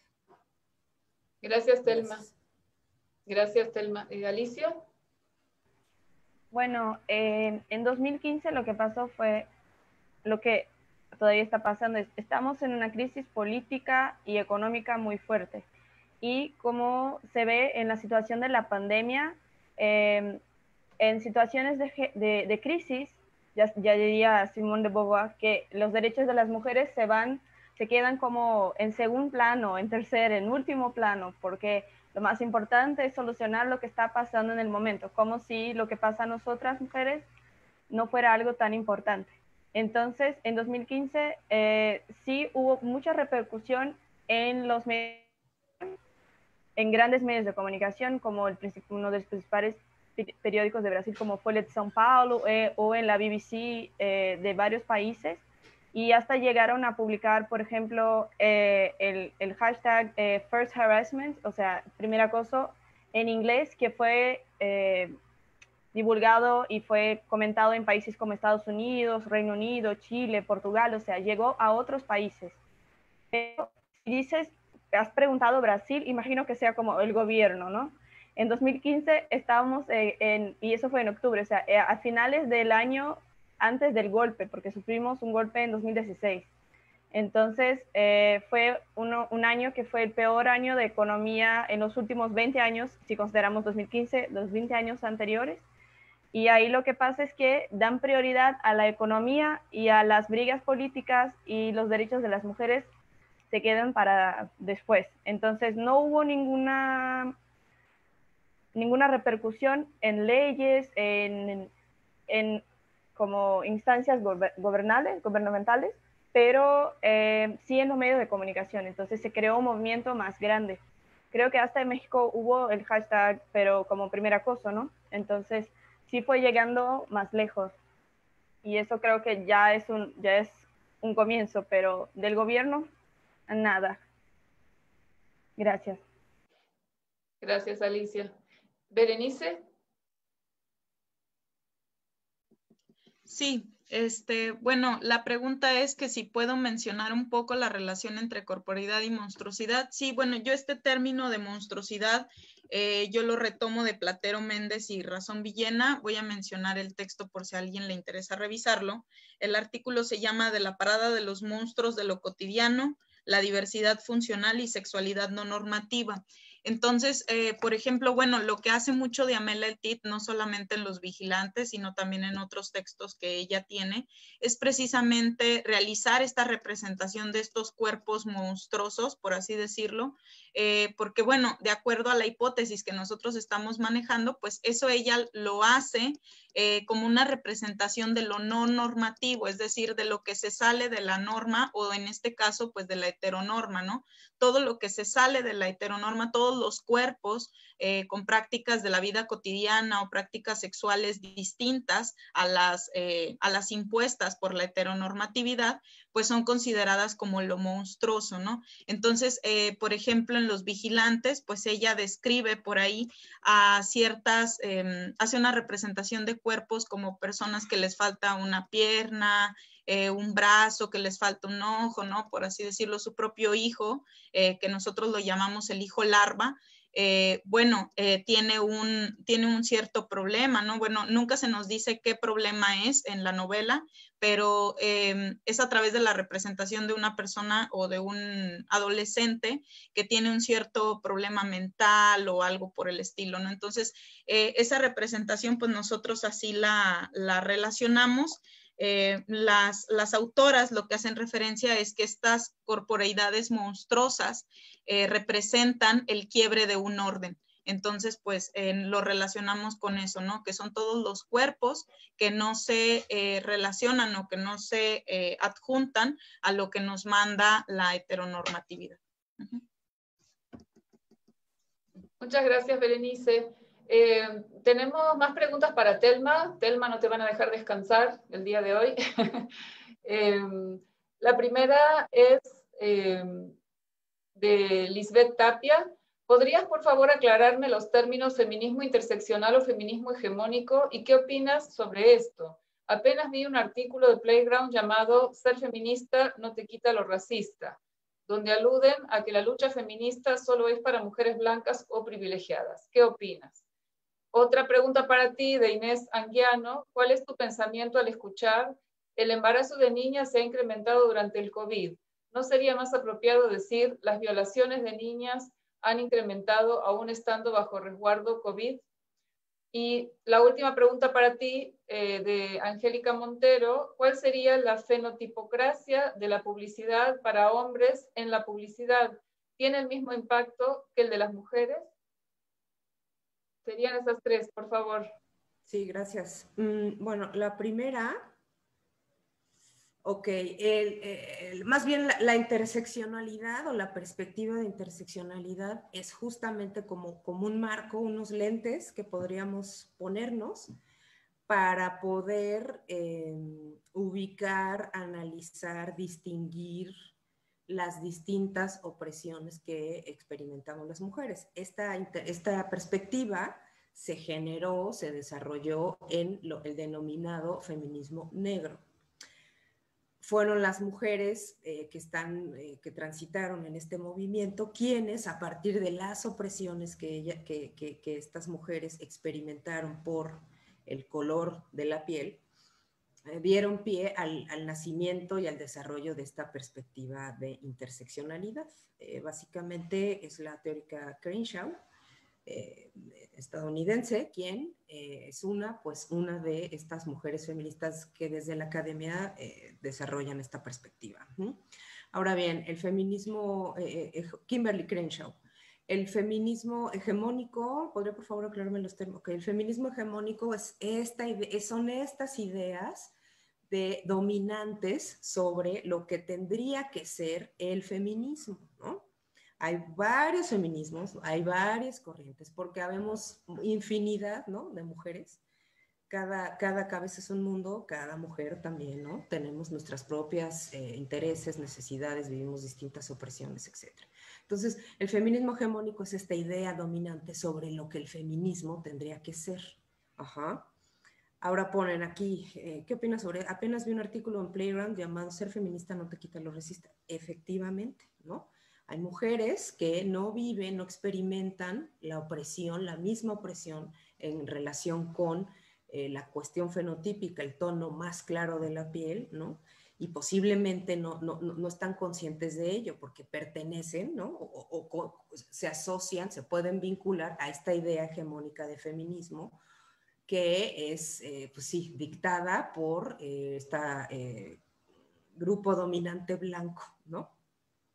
Entonces, no te quita lo racista, no, no necesariamente ser feminista no te quita lo racista. E incluso ser feminista tampoco nos quita o te quita otras, otras expresiones, ¿no? El ser feminista o, experimentar el feminismo, vivir el feminismo, implica pues una propia deconstrucción personal, la propia experiencia, lo que vamos viviendo, nos va llevando a comprender distintas cosas.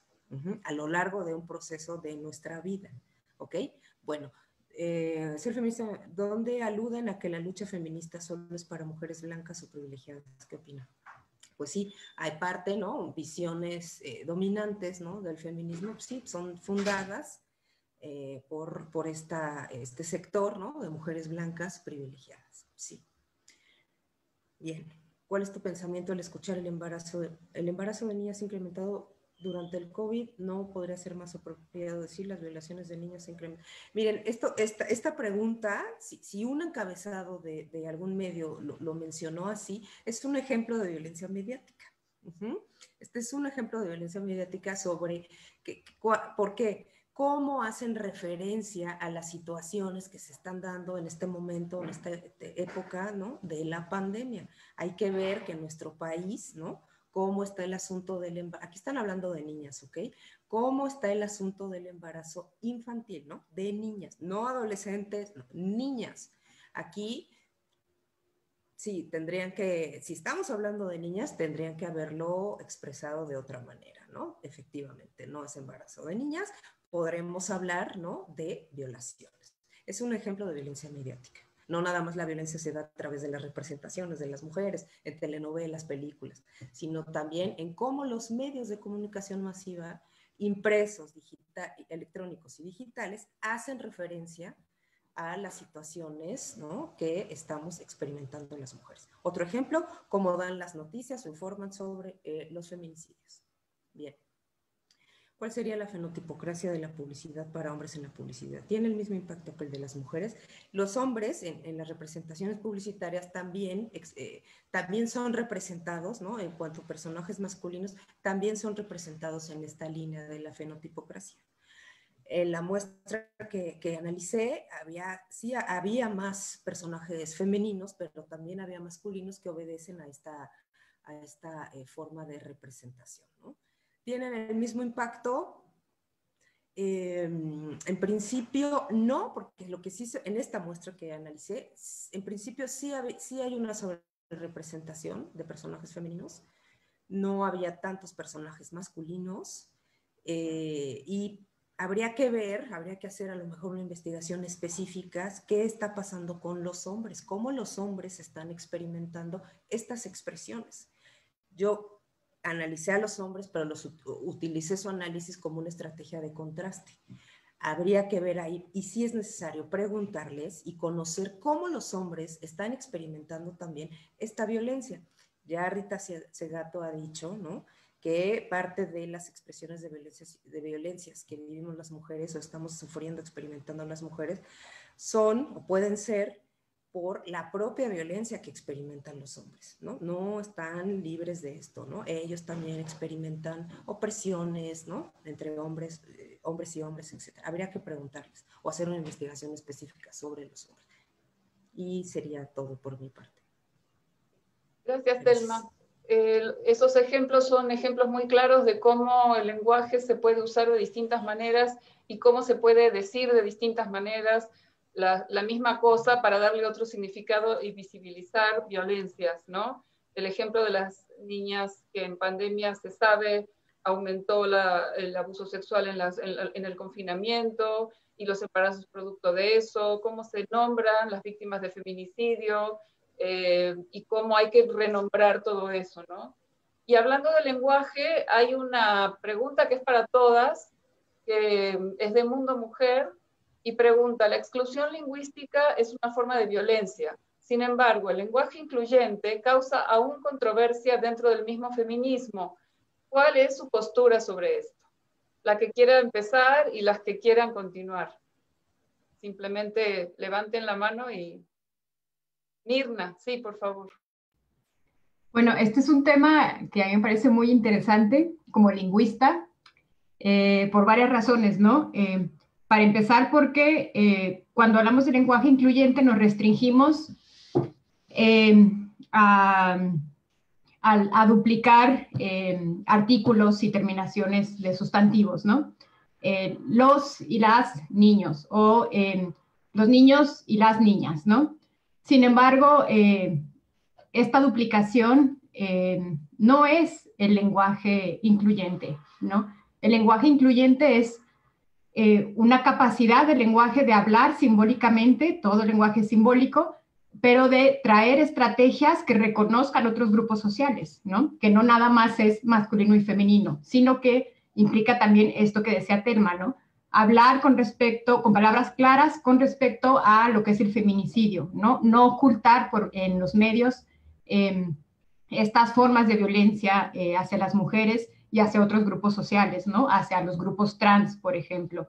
Eh, también eh, muchas veces en educación, ¿no? Em, nos referimos a, ciertos modos de hablar eh, de, en los espacios públicos, ¿no? De los políticos o de ciertos grupos de élite eh, que utilizan o que se apropian de este lenguaje incluyente, ¿no? De, esta, eh, de este uso de femenino y masculino, ¿no? De este desdoblamiento gramatical.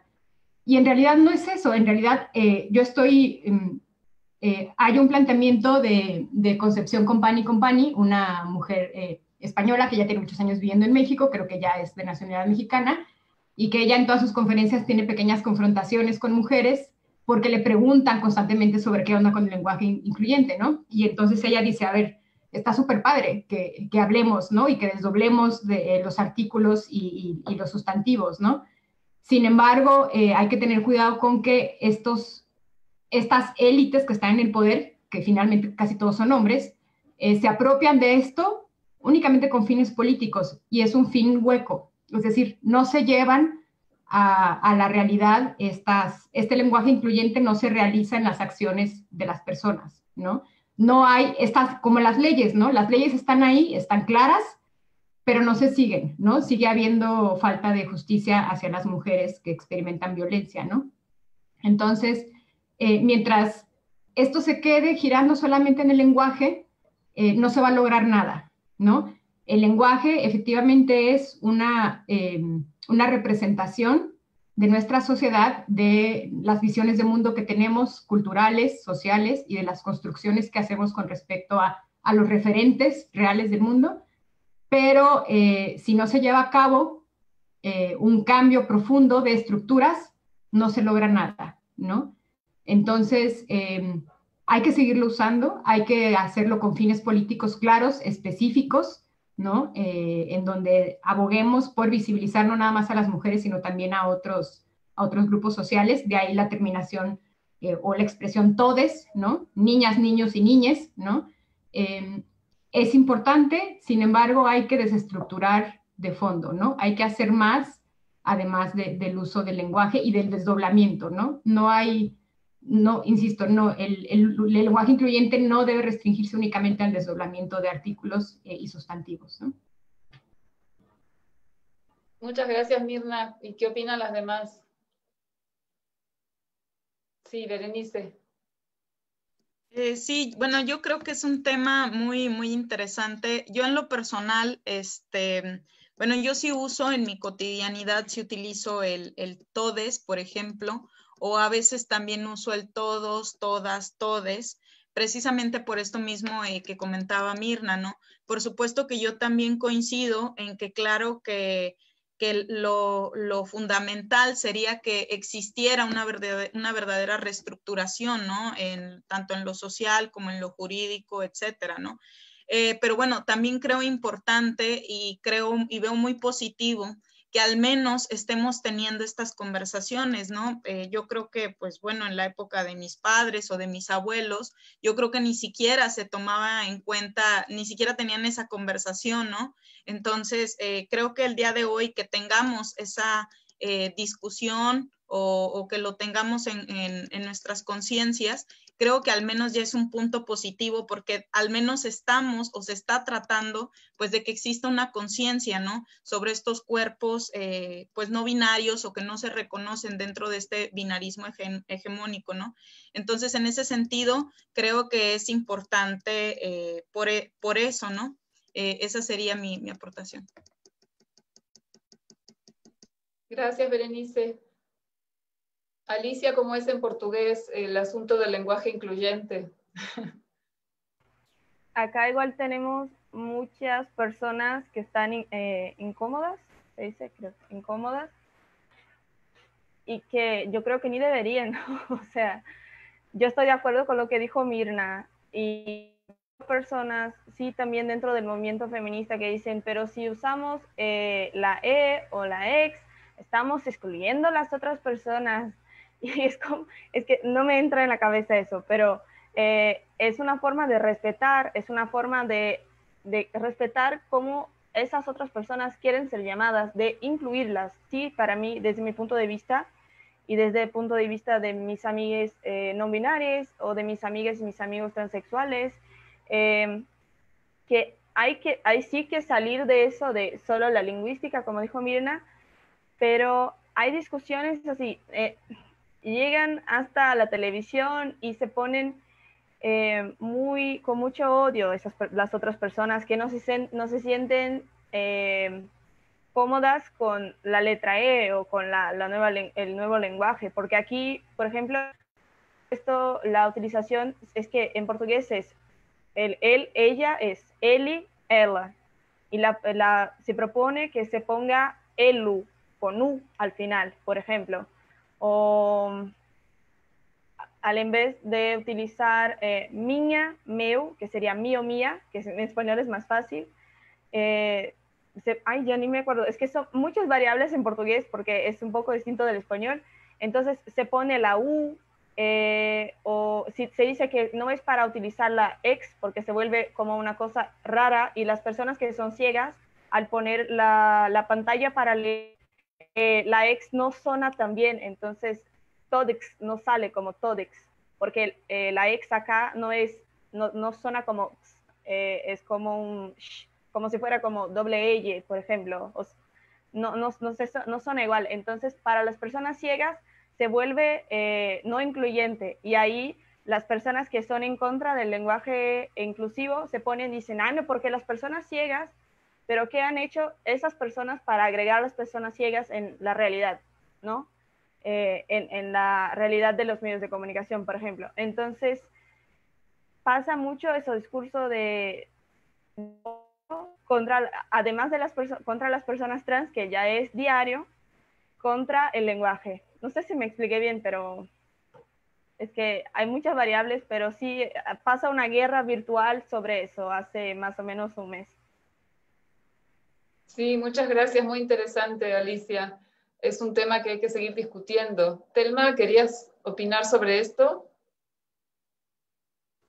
Sí, bueno, nada más decir que igualmente coincido con, con Mirna, eh, pues el lenguaje nombra al mundo, ¿no? A través del lenguaje nombramos al mundo y lo que sucede alrededor de él. Eh, por un lado, estoy a favor de utilizarlos eh, y creo que lo que también dejan ver o, o permiten ver esta, estas tensiones en torno a la utilización de, X o Y eh, palabras o, letras, es esa, ese, conflicto, esa, necesidad de, nombrarse, de que se nombren, de que nombremos a las distintas identidades, ¿no? A las distintas identidades que, existen y, que, que, yo creo que es bueno que suceda esto porque nos permite también visibilizarlas. Pero también coincido, y coincido también nuevamente con Mirna, hay que ir a fondo, o sea, hay que desgranar esas esas identidades a fondo para poderlas ver y nombrar a todas y a todes ya. Gracias. De acuerdo. Bueno, haremos las últimas preguntas porque ya estamos con 10 minutos de la hora del fin de la, de la mesa. Eh, es otra pregunta para todas, eh, de Diego. ¿Cuál sería la solución para ir terminando, aunque sea poco a poco, con la violencia en la publicidad? Y esa es para todas. En el caso, eh, para Telma, ¿qué especificidad encuentras en usar fenotipocracia y no racismo? Y la última es para Alicia, de Julieta Zacatenco. ¿Cómo consideras que podemos trasladar todo el activismo de redes al espacio público sin perder la diversidad y confianza en redes de apoyo generadas desde lo que tú mencionas como cyborg? Entonces, ¿quién quiere empezar con la primera pregunta que era para todas? Sí, Berenice, adelante. Sí, gracias. Eh, bueno, yo creo, creo que en ese sentido sí se mm, relacionan este, muy bien con, al menos con el proyecto que yo eh, les compartí. Eh, porque bueno, creo que parte precisamente de esta cuestión de los discursos sociales, ¿no? Donde la publicidad, por supuesto que también es otro discurso social que claro que también nos va marcando y construyendo desde que somos niños hasta que somos adultos, ¿no? Entonces, este, eso también eh, forma nuestra identidad como, como sujetos, ¿no?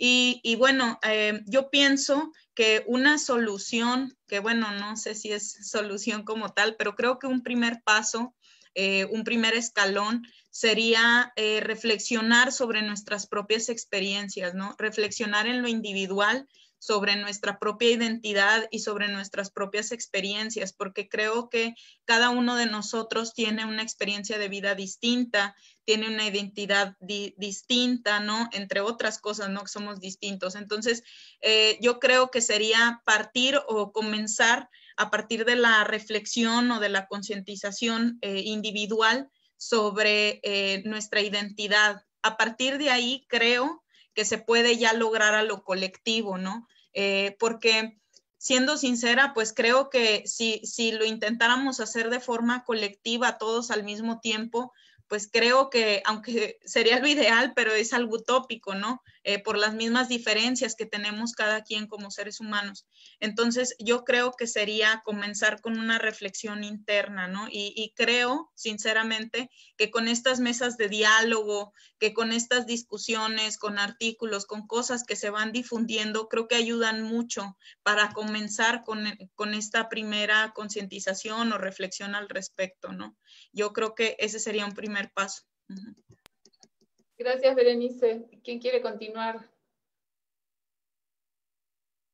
Sí, Alicia, por favor. Eh, yo hago el curso de comunicación social con énfasis en periodismo, ¿no? Entonces, estudiamos eh, en algunas asignaturas de comunicación, principalmente los sensacionalistas, pero no quiere decir que los otros no hagan esos errores, eh, equívocos de lenguaje creo que una opción es que hayan en las redacciones para los periodistas, los periodistas más viejos, em, como que, no sé si calificaciones, pero cursos o discusiones sobre cómo hablar de estos temas que son muy fuertes de la violencia sin culpabilizar la víctima, porque hay muchas veces, a veces es una mujer que es trabajadora sexual y ahí lo que hacen es ponen la palabra ya como sabemos y pone como esa mujer fue culpable porque ya ejercía trabajo sexual, entonces si sufrió una violación fue culpable. Y eso viene, eh, y viene en varios lugares. Muchas veces eh, ocurre como ya ocurrió una violación de un adolescente hace unos dos, tres años que fue violada por 33 hombres y muchos medios de comunicación pusieron que la culpa era de ella. Entonces creaban eh, llamadas en, los medios de comunicación como si la culpa fuera de ella. Entonces creo que hablar de eso en las redacciones, eh, en los medios de comunicación, dentro de los medios de comunicación y en las universidades de comunicación social es imprescindible. O sea, si no se habla de eso con los que se están graduando, ¿cómo creen que puede llegue en un medio de comunicación y no eh, continúen divulgando esa, ese lenguaje eh, prejuicioso, ¿no? Entonces creo que además de los diálogos, de lo que ha propuesto Berenice desde lo interno, colectivamente en, eso, en esos lugares de donde se crea esa información, de donde se crean las noticias, ¿no? Porque si no, no adelanta de nada que escuchamos nosotras y los, los periodistas o quien sean dentro de estos medios de comunicación continúen reproduciendo e, esa visión. Muchas gracias, Alicia. ¿Alguna más quiere opinar sobre esto? Telma, por favor. Sí, bueno, igual, igual que dijeron Berenice y Alicia, eh, sí es un trabajo tanto individual como colectivo. Y hay que, bueno, una, una, una eh, situación que puede ayudar, como bien mencionó Alicia, pues es desde los los futuros, en el caso de contenidos mediáticos, los futuros productores, creadores de contenidos, capacitarlos, sensibilizarlos para que desde esa, esa, edad empiecen a, tener esa conciencia, ¿no? Y entonces ellos puedan ser eh, un, un, agente eh, rompedor o, transformador. Y también a las propias instituciones, a las, a las, que, a las que solicitan los contenidos, los producen y, las, perdón, y propias instituciones gubernamentales. Es un todo, son las estructuras. Entonces, a las estructuras y a las personas que trabajan dentro de esas estructuras, ¿no? Capacitación, sensibilización. Muchas gracias, Telma. Eh, no sé si Mirna quieras decir algo al respecto.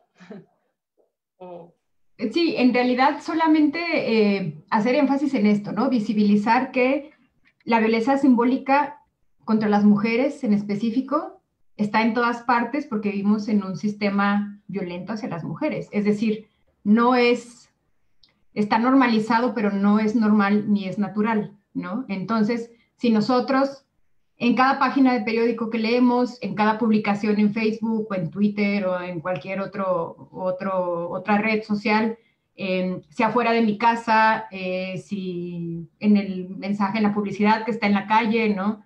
Es decir, si en todas las representaciones de nuestra vida cotidiana eh, y de la vida de la sociedad se encuentra esta violencia es porque vivimos en un sistema violento hacia las mujeres específicamente y hacia los cuerpos feminizados, ¿no?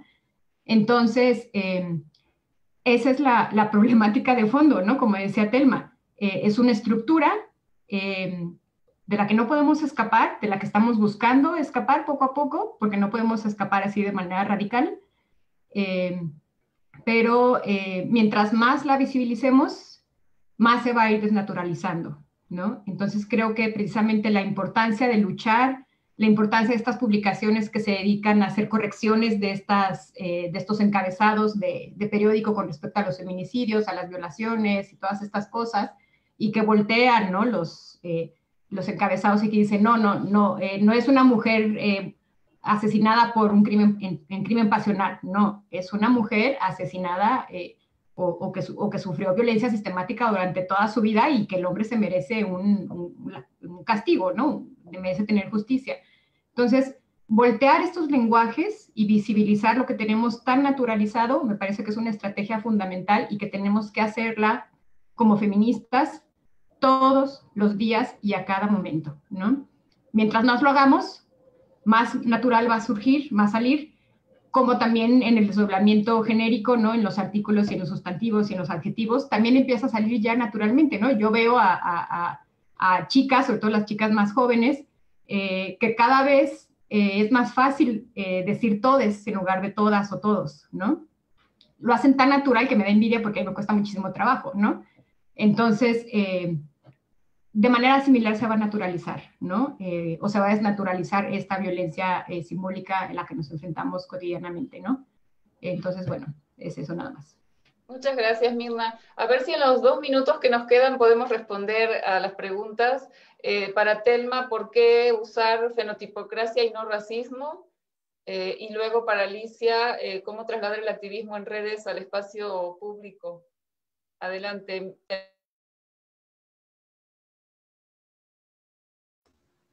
Ok.